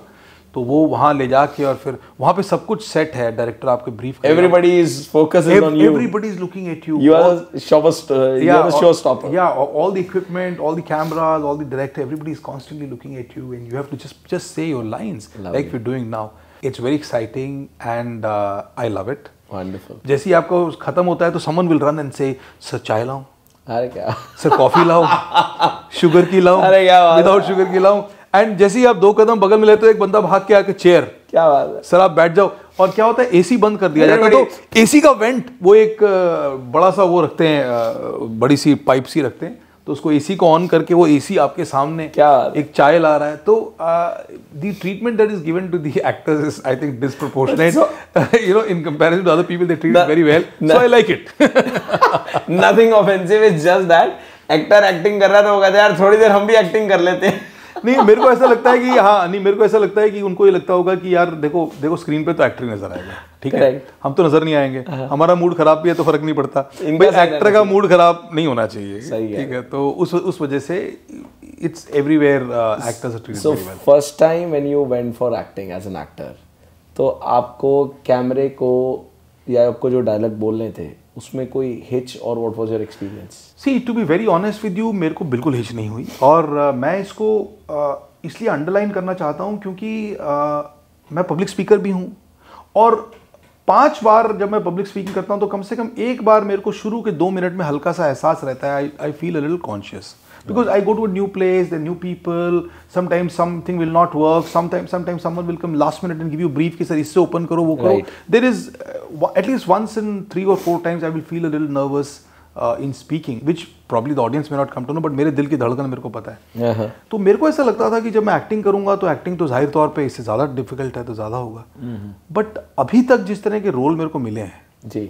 मेरे को बिल्कुल भी महसूस नहीं हुआ बल्कि मेरे को तो बहुत ज़्यादा आनंद आया। वंडरफुल बिकॉज़ मेरे को लगा कि अगर जो भी रोल बता दिया कि आप ये हो आप डॉन हो या आप यू नो कोई बिजनेसमैन हो या आप लॉयर हो जज हो जो भी हो तो बता दिया तो मैं अपने आप को प्रिपेयर ज़रूर करता हूँ। लाइनें याद करनी पड़ती हैं of course I give that respect to the profession Right. I prepare it several number of times फिर भी कई बार भूल जाता हूँ एक आध बार ऐसा कई बार होता है। Right. बट सेट में people are very nice. Even if you forget they'll immediately prompt someone will prompt and then you know you'll get it again and they will reshoot or whatever. बिल्कुल बिल्कुल hesitation नहीं होती। Wonderful wonderful if I ask you one crisp piece of advice सारे young और aspiring actors के लिए। सारे aspiring actors के लिए देखो मैं तो एक्टिंग जर्नी 50 साल की उम्र में शुरू की है। हाँ. तो हो सकता है मेरा एक्सपीरियंस अलग रहा हो बट हाँ you know always be prepared for the worst ये हमारा फौजी भी सिस्टम है। करेक्ट बिल्कुल ठीक आप कोई ऑपरेशन करते हो मिशन करते हो be prepared for the worst तो ये लाइफ में भी अप्लाई होता है। बिल्कुल सही कह रहे हैं। तो आप be prepared for the worst work hard be original do not try to copy any right go fearlessly whatever makes you happy and अगर आपकी किस्मत में है तो आपसे कोई उसको छीन नहीं सकता। और अगर आपकी किस्मत में नहीं है जब भी आपको लगे तीन साल चार साल पाँच साल और भी बहुत तरीके हैं अगर आप एक्टर नहीं बन पा रहे हैं आप डायरेक्टर बन सकते हैं आप राइटर बन सकते हैं ऐसे बहुत सारे एक्सपेरिमेंट्स हैं एग्जाम्पल्स हैं जो राइटर बनने गए थे और एक्टर बन गए और एक्टर मेरे साथ बल, बल्कि यही हो रहा है मैं जिस भी प्रोडक्शन कंपनी में अपनी स्टोरी सुनाने जाता हूँ वो स्टोरी सुन के बोलते हैं ठीक है ठीक है। और अग, अगले दिन वहाँ से मैसेज आता है कि सर वो ना आपके कोई स्क्रिप्ट भेज रहे हैं कास्टिंग वालों से बात की है जिनकी आप मीटिंग हुई थी और आप उसका ऑडिशन कर दीजिए एक्टिंग के लिए। मतलब मैंने एक्टिंग की बात ही नहीं की। तो मेरे को आ, मैं स्टोरी सुना जाता हूँ और एक्टिंग का रोल मिल जाता है। क्या बात तो बढ़िया। तो be prepared for these kind of surprises and be open and that's all be fearless lovely तो अभी आपके आने वाली कौन सी फ़िल्म है जो आने वाली है? अभी बहुत सारी आने वाली हैं। अच्छा। आ, नहीं दो तीन वेब सीरीज़ हैं। एक फ़िल्म है। मेरे को एक सबसे हाँ ये बात बताना चाहूँगा कि मेरे को एक मैं एक मलयालम फिल्म में प्राइमरी कैरेक्टर अरे क्या बात है lovely so what is the film the film is called Kathanar अच्छा and it's a local legend from Kerala. It's a Christian legend, beautiful story, and uh, the hero is Jay Surya, and, Acha ji. and, and the lead protagonist, the actress is uh, Anushka Shetty. These are very popular. Uh, yes, actors in all over South India. No, I think Overall, all- uh, we can overall say, yeah. anywhere, Very and they're also very talented. And I had not get the chance, got the chance to meet Anushka Shetty so far, but I've uh, done some shooting with Mr. Jay Surya, and he's. Uh, तो उसमें आप किसका role play कर रहे तो मैं उसमें एक क्रिश्चियन फादर का रोल प्ले कर रहा हूँ अच्छा very nice who is a Persian father okay who came from Persia, what we call today Iran, uh, in 7th century. Okay Uh, it's a true story. Right He came in Kerala and uh, they've, they've given me a. your your, your hair French and- gives that I I can I, I Yeah, can no, relate they, now They've given me a big beard and big hairstyle. All that is a little confidential. I can't. This is what is available uh, publicly so far. Right. I can't really talk much about the Yes. story. The teaser is out. The Right. teaser uh, is what I'm mostly speaking from. It's a one-minute teaser called Katanar uh, First Glimpse. okay So Glimpse Katnar, you can put in YouTube and watch it. It's very very exciting. Uh, it's fabulous. The director is Mr. Rojan Thomas. He's young, uh, and uh, he has won national award for the, his latest film, earlier film called Home, earlier this year from yes. President of India. Hashtag Home on Amazon Prime. People can watch it. It's a beautiful film. I've had the experience not just working with Bollywood people, but मेरे को केरला में uh, Malayalam film industry में भी क्या बात। मैंने करीबन 15-16 दिन शूट किया है wonderful तो वहाँ का एक्सपीरियंस भी मेरे को हो गया है very nice very nice that's lovely that's going to come in 2025 That's great. So आपने आउट ऑफ़ द 15 बुक्स आपको एक किताब स्पेसिफिकली बहुत बड़ा मौका मिला where you co-authored that book with the father of Rajamouli who has written RRR Baahubali तो how has been your experience और वो चांस आया कहाँ से? How you got the opportunity बहुत uh, बहुत अच्छा एक्सपीरियंस रहा। Mister Vijendra Prasad is an octogenarian he is one of the most successful rather the most successful Indian screenplay writer ji. In India in terms of the percentage of success of films उनकी कोई film fail नहीं हुई है। Uh, Telugu में लिखते हैं हिंदी में भी उन्होंने बाहुबली बाहुबली बाहुबली, लिखी उनके बेटे बहुत बड़े डायरेक्टर हैं और हिंदुस्तान की प्राइड हैं। And he is an he is his pride of India and RRR is done so well Bajrangi Bhaijaan Bollywood film is done so well that is also been written by By Vijendra Prasad हुआ ये कि जैसे मेरी बॉम्बे वाली कहानी थी ऐसे ही मेरी अ, अ, हैदराबाद वाली कहानी थी। एक बार मैंने बॉम्बे जाने से पहले हाँ। मैंने अपनी वाइफ को बोला कि मैं ना हैदराबाद जाकर आता हूँ। अच्छा। तब मैं दिल्ली में रहता था डेढ़ साल पहले की बात है। For any specific purpose no no no she said why will you go I said मैं देख कर आता हूँ तेलुगु फ़िल्म इंडस्ट्री वाली करते क्या हैं। तो मैंने एक अच्छा होटल बुक किया पाँच दिन के लिए। अच्छा। फ़्लाइट की टिकट की और मैं यहाँ से चल पड़ा। और मैं अब जब मैं एयरपोर्ट पे था मैंने सोचा मैं जा तो रहा हूँ लेकिन मिलूँगा किससे? करेक्ट तो मैंने एक ट्वीट कर दिया। Dear filmmakers in Hyderabad, my name is Kulpreet. I'm landing in Hyderabad. I'm going to be there for a week. And if anyone wants to collaborate and listen to my stories or work or meet, I'll be grateful. तो दो तीन directors का Telugu directors का उसी Instagram Twitter में मेरी decent following है तो उसकी वजह से मेरे पास कुछ मैसेजेस आए तो दो तीन मीटिंग्स वैसे हो पाई फिर वहाँ पे एक दो लोग हैं मेरे जान पहचान के जर्नलिस्ट हैं उन्होंने एक बड़े डायरेक्टर से मीटिंग कराई और एक मुंबई में एक डायरेक्टर है मेरे फ्रेंड जयदीप सेन। अच्छा। तो उन्होंने वो ट्वीट पढ़ा। तो उन्होंने मेरे को तो कुछ नहीं बोला। उन्होंने ट्वीट पढ़ने के बाद सीधा विजेंद्र प्रसाद जी को फ़ोन किया। अच्छा। कि कुलप्रीत यादव करके एक आदमी आ रहा है हैदराबाद में। सर बहुत अच्छा आदमी है बहुत अच्छा राइटर आप उससे आप उसको ज़रूर टाइम निकाल के देना। Vijendra Prasad is a very big man right is also nominated Rajya Sabha member now Rajya Sabha M P so बोला अब तो उन्होंने ठीक है बोल दिया। तो मेरे को इन्होंने फिर मैसेज भेजा कि you are in Hyderabad I said yes sir I have spoken to Mister Prasad and you can call him and get to meet him ऐसे थैंक यू वेरी मच तो मैंने विजेंद्र जी को कॉल किया। मैंने बोला सर मेरा नाम कुलप्रीत है. बोला हाँ क्या चाहिए आपको? मैंने बोला सर मैं आपका आशीर्वाद लेना चाहता हूँ विच इज़ अ फैक्ट तो उन्होंने बोला चलो ठीक है देखते हैं. हाँ, फिर नेक्स्ट डे उनकी तरफ़ से कॉल आया फिर हमारी मीटिंग हुई। फिर उन्होंने मेरे से काफ़ी सारे सवाल पूछे और मैं तो समझ नहीं पाया मेरे साथ क्या हो रहा है बिकॉज़ साक्षात you know screenplay writer number one of India you know like number one to बोलना गलत होगा मतलब लेकिन most successful most revered most admired right film screenplay writers front of me and इतनी इज़्ज़त दे रहे हैं मेरे से अच्छे से बात कर रहे हैं तो तो उन्होंने बोला क्या चाहिए? मैंने बोला सर आपका आशीर्वाद चाहिए और कुछ नहीं चाहिए. तो उन्होंने बोला कि मेरे पास एक कहानी है तो मेरे साथ कहानी लिखोगे क्या?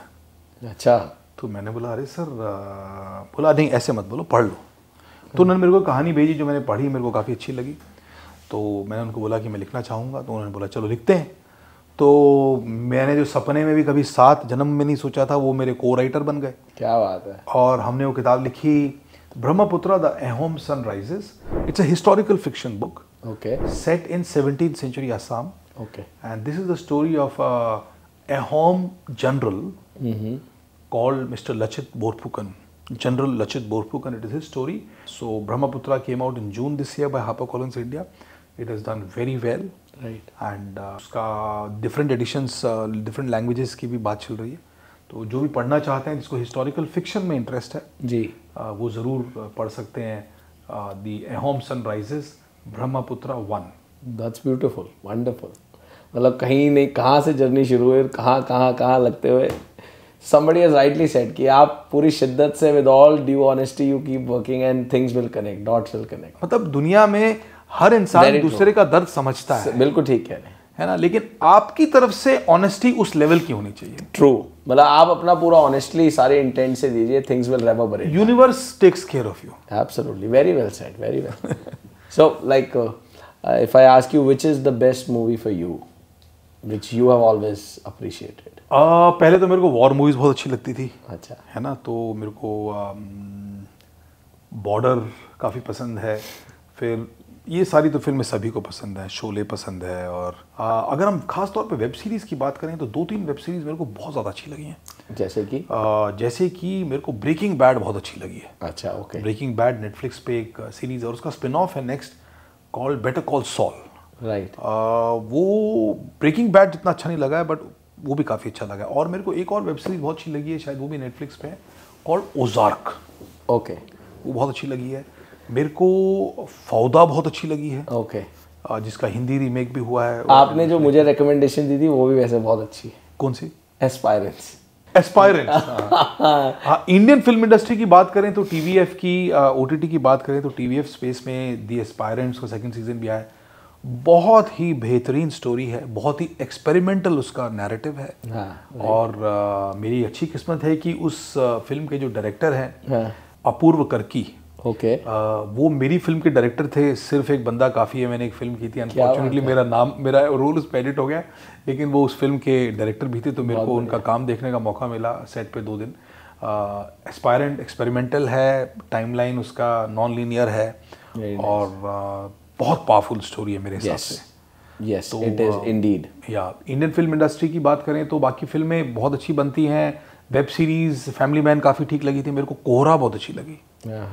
Kohrra I would rate as the best to the level of aspirant though it's a very different genre Kohrra is fabulous. But like, what do you feel? ये जितनी भी web series and things are coming in, how do you you see them? कि what is the strong instrumental role they can play in transforming the people life? How they can really help? Yeah, it is just an entertainment की तरह नहीं देखिए web series entertainment के लिए naturally है but बहुत सारी web series educational inspiring stories भी होती है। एस्पायरेंट की बात की उसमें कुछ लेवल की इंस्पिरेशन है, है बिल्कुल और, और, और कुछ वेब सीरीज़ होती है इसमें। तो वो तो मेकर के ऊपर है कि मेकर किस चीज़ को किस थीम को टच करना चाहता है। अगर आप यू नो इंस्पायरिंग स्टोरी बनाना चाहते हैं तो इंस्पायरिंग स्टोरी बना बना सकते हैं। अगर आपको केवल एंटरटेनिंग वाली बनानी है तो एंटरटेनिंग वाली बनाइए। राइट राइट राइट राइट अच्छी वेब सीरीज़ कौन सी होती है? मेरे अनुसार अच्छी वेब सीरीज़ वो होती है जिसमें प्लॉट बड़ा इंटरेस्टिंग होता है ओपनिंग बड़ा इंटरेस्टिंग होता है लेकिन उसके प्लॉट की रेलेवेंस एक दो एपिसोड के बाद लगभग नहीं हो खत्म हो जाती है क्योंकि कैरेक्टर्स इतने इंट्रीगिंग होते हैं Right. कि कैरेक्टर्स जो है वो कैरेक्ट प्लॉट ड्रिवन स्टोरी से वो अचानक कैरेक्टर ड्रिवन स्टोरी बन जाती है और आप उस कैरेक्टर में गुम हो जाते हो डूब जाते हो आप उस कैरेक्टर के जैसे दुनिया को देखने लगते हो समझने लगते हो और आपको आप उसके दर्द को महसूस करने लगते हो उसकी खुशी को महसूस करने लगते हो। जो कोहरा में जो वो फिकी करके जो जिन्होंने सिख पुलिस ऑफिसर का जो रोल प्ले किया वो इतना उम्दा रोल प्ले किया है।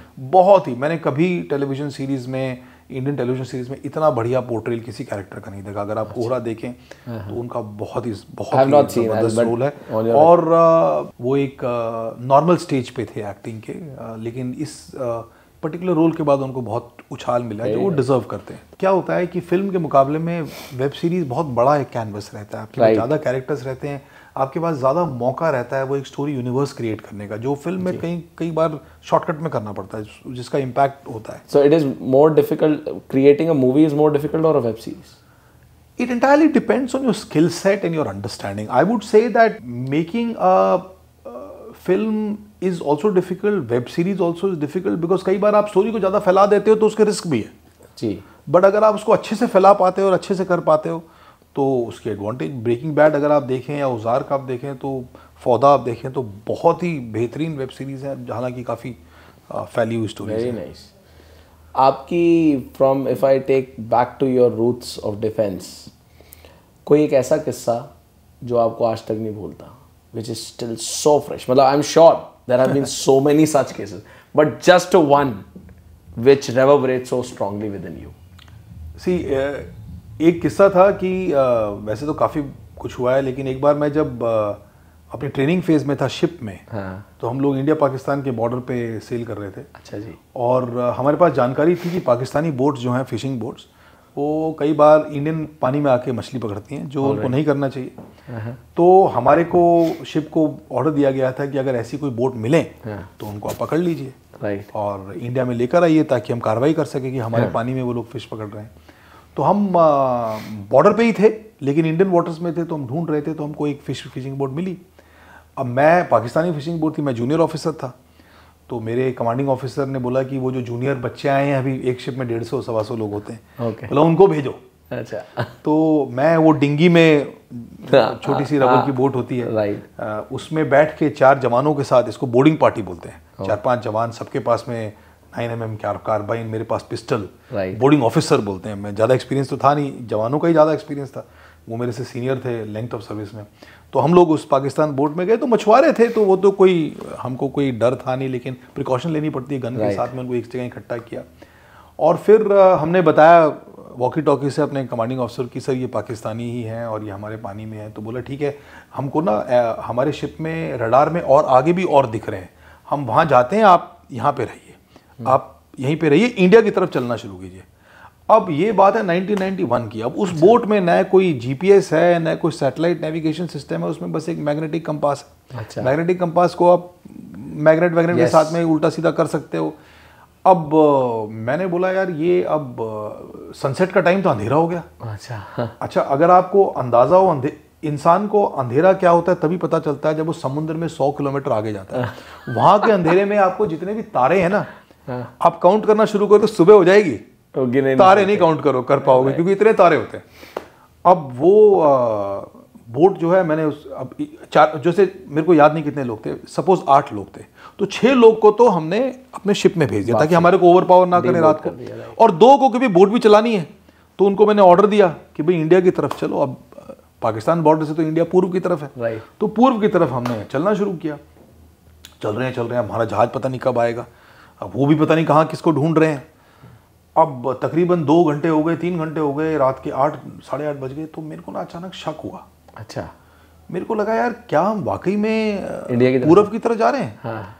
कहीं हम नॉर्थ वेस्ट की तरफ़ तो नहीं जा रहे? अगर हम नॉर्थ वेस्ट की तरफ़ जाएँगे तो हम चार पाँच घंटे में दो घंटे में पाकिस्तान पानी में पहुँच पहुँच जाएँगे और उसके चार पाँच घंटे बाद हम कराची पहुँच जाएँगे। हम ही पकड़े जाए।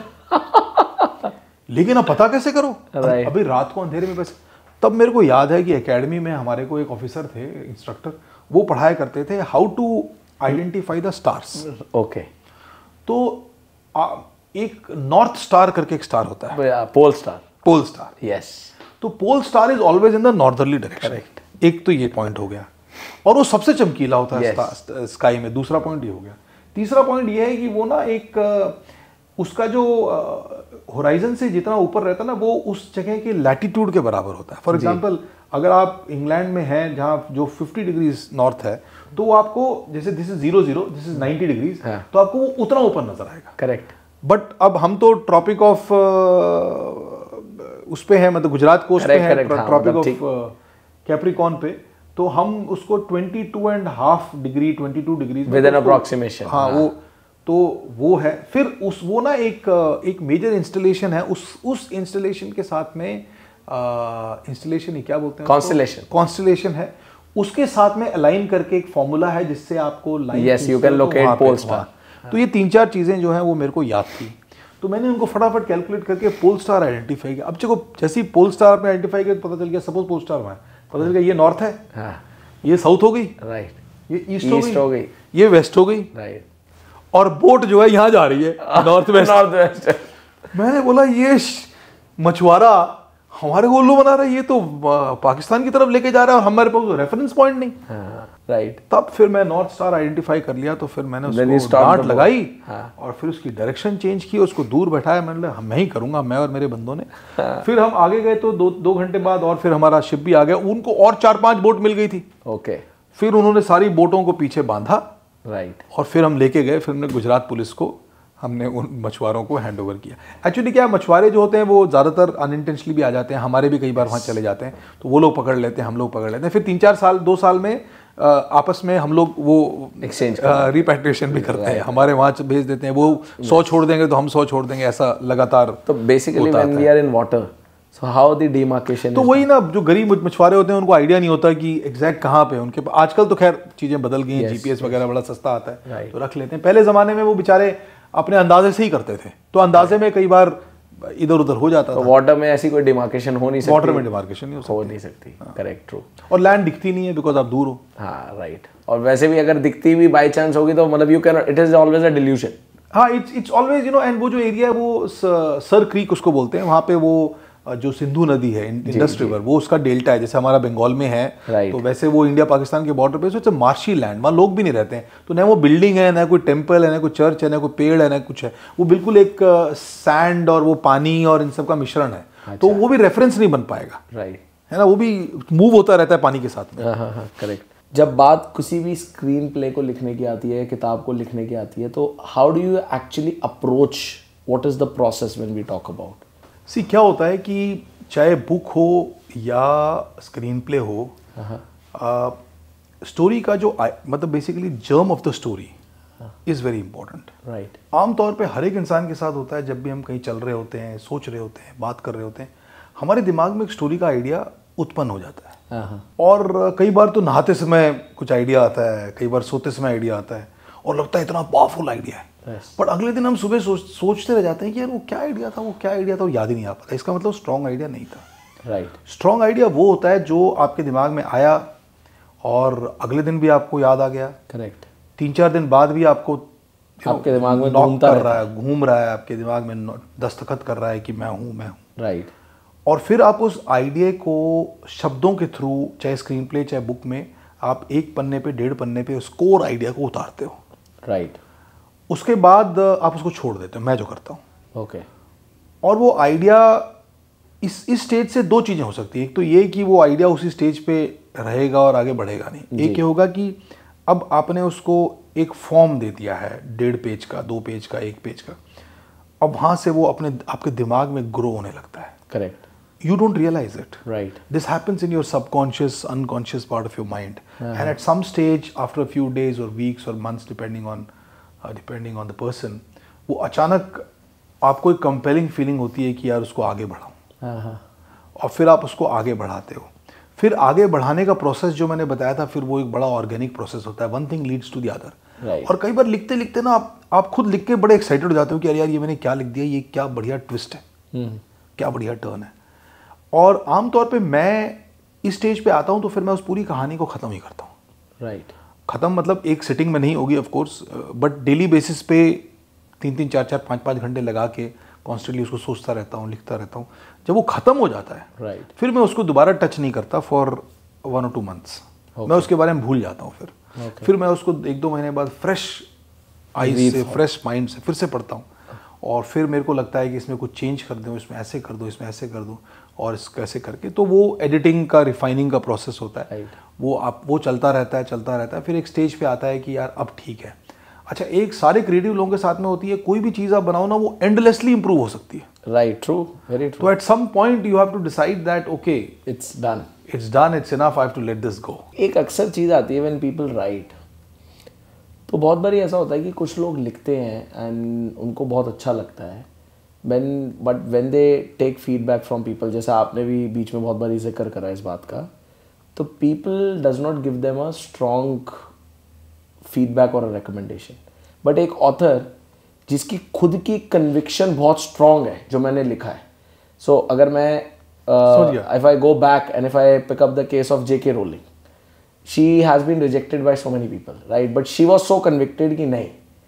तो to such people, how do you tell them what is the way for validation कि नहीं जी आप अपने लिखने का जो प्रोसेस पे डटे रहो? देखो आ, अच्छा सवाल है. इसके दो तीन पहलू हैं. पहला तो ये आमतौर पर जब आदमी लिखता है तो लिखने के बाद वो अपनी वाइफ अपने बच्चों अपने मम्मी डैडी के साथ में पहले सर्कुलेट करता है. और ज़्यादातर वो पढ़ के बोलते हैं कि वाह. क्या बढ़िया लिखा है मज़ा आ गया। You are you really star my god this is too good अच्छा अब वो ऐसा क्यों बोल रहे हैं? क्या वो झूठ बोल रहे हैं?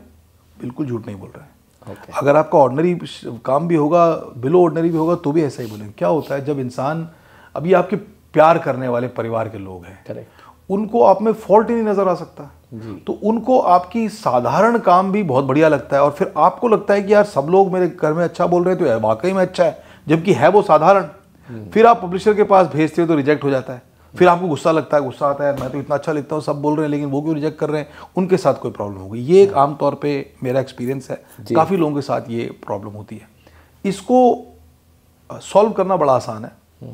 आप ऐसा कोई फोरम ज्वाइन कीजिए या ऐसे कोई अनबायस लोगों से फीडबैक लीजिए जो आपसे कनेक्टेड नहीं है। राइट और वो पढ़ के आपको सीरियस फीडबैक दें। ऐसा कुछ आपको सिस्टम क्रिएट करना पड़ेगा जिसके बहुत तरीके हैं। मैं वो बाद में बात कर सकते हैं। तो अगर आपको एक unbias non family someone who is not in love with you और who is not your parent और your child someone who is not will be very objective with your with analysis and they will give an objective analysis आपको वाकई में पता चलेगा।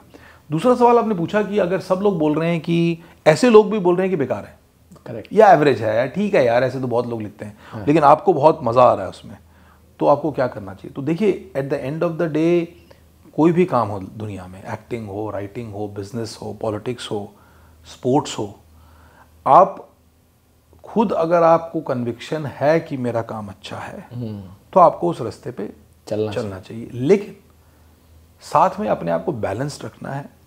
अगर चार पाँच लोगों ने अनबायस अनरिलेटेड लोगों ने बोला है तो थोड़ा progressively we need to take हाँ you need take it positively you need to think you need to reflect you need to मतलब डायरेक्शन को छोड़ना नहीं है बट प्रोग्रेसिवली लेके और रिफाइन करना पड़ा और रिफाइन करना है। But at the end of the day कई बार ऐसा होता होता है कि आपने कुछ इतनी ओरिजिनल और महान चीज़ लिख दी कि वो पढ़ने वाला ही इतना साधारण उसको समझ में नहीं आई। हाँ। और उसको साधा उसने दो तीन लोगों ने खराब फीडबैक दे दिया और आपने सोचा आप बेकार लिख रहे हो और आपने उसको हटा दिया। ऐसा नहीं करना है। राइट राइट बिकॉज़ हम जिस जिस मर्ज़ी को दुनिया में बेवकूफ़ बना लें लेकिन हमको पता होता है कि हम क्या हैं। करेक्ट और हमारे अंदर क्या कैपेबिलिटी है क्या क्वालिटी है। एब्सोल्युटली तो very true you know so आपकी इनर वॉइस भी है। अगर वो बार बार बोल रही है कि नहीं जी। ये अच्छा है तो आप आगे बढ़िए उसके साथ। वेरी ग्रेट सो बहुत सारे लोग होते हैं they have written a good book manuscript लिख लिया। बहुत लोगों का आजकल चैलेंज आता है how to find the publisher what's your experience कि क्या रास्ता होना चाहिए उनको? अगर आप छोटा सा टिप देना चाहें या ज़रिया देना चाहें। देखिए सबसे पहली बात तो यह है कि पब्लिशर मिलना बहुत मुश्किल है। आई कैन ऑल्सो से बिल्कुल ठीक कह रहे हैं पब्लिशर मिलना एकदम यू नो एक नीडल को हे स्टैक में ढूँढने जैसा है। आपको बहुत मुश्किल होगा मिलना। लेकिन आ, अगर आप अच्छा लिखते हैं आपको बड़ा पब्लिशर नहीं मिलता है कोई बात नहीं। आपको छोटा पब्लिशर मिलेगा मीडियम पब्लिशर मिलेगा। उनके साथ आप पब्लिश कर सकते हैं।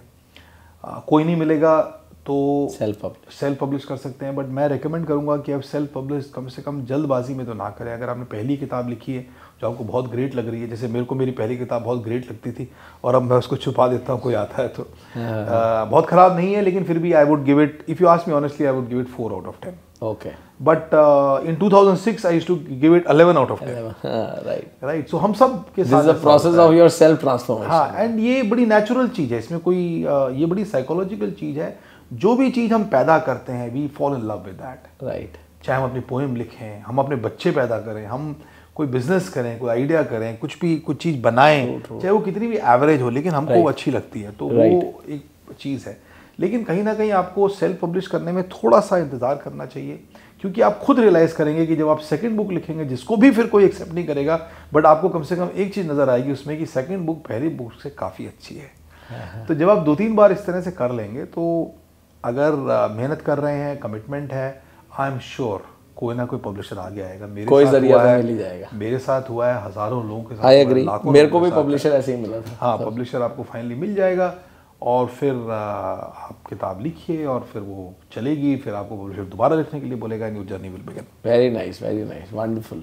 As of now, if I talk about in your filming career, कोई ऐसी अनकन्वेंशनल और I would say something which is very odd for you you really found कि भाई इस इंडस्ट्री की ये बड़ी ऑड है जो आपको बहुत अनकन्वीनियंट फील कराती हो हाँ एक डायलॉग डिलीवरी वाली बड़ी प्रॉब्लम है। क्या होता है अच्छा। कि इंसान आपकी चार लाइन है पाँच लाइन है आप उसको तरह तरह से प्रैक्टिस करते हो। हाँ।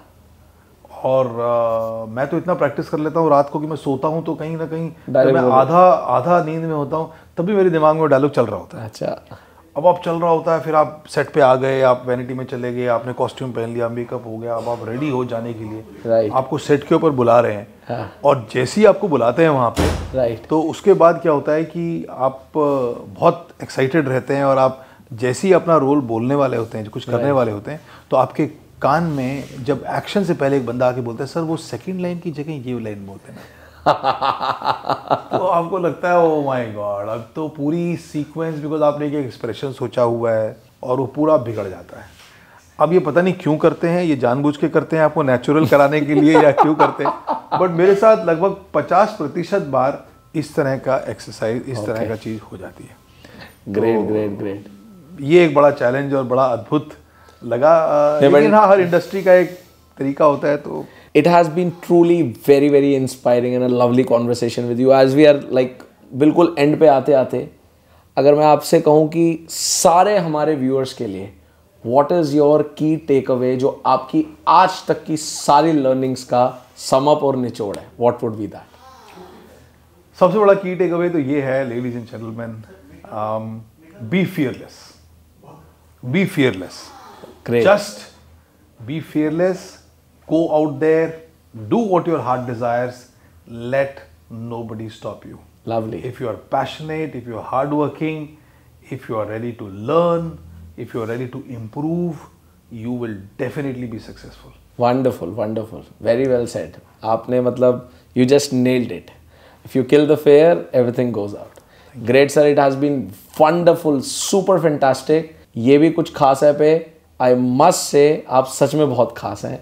You have done lovely fantastic super wonderful starting from defence switching to your lovely fantastic writing career and now being an established well establish novelist and writer and then going into the filming और आपकी आने वाली जो film है I'll definitely watch and all the audience I am sure वो भी आपकी film बहुत पसंद करेंगे। Thank you sir thank you for your wonderful time coming here, joining us. It has been a lovely talking to you. Thank you so very much. Same here. Uh, it has been a pleasure. बहुत मज़ा आया और आपकी team बहुत अच्छी है आप खुद बहुत अच्छे हैं आप खुद बहुत खास हैं सो बहुत अरे, बहुत thank धन्यवाद. And all the very best Thank you. Thank you. Thank you so very much. Thank you.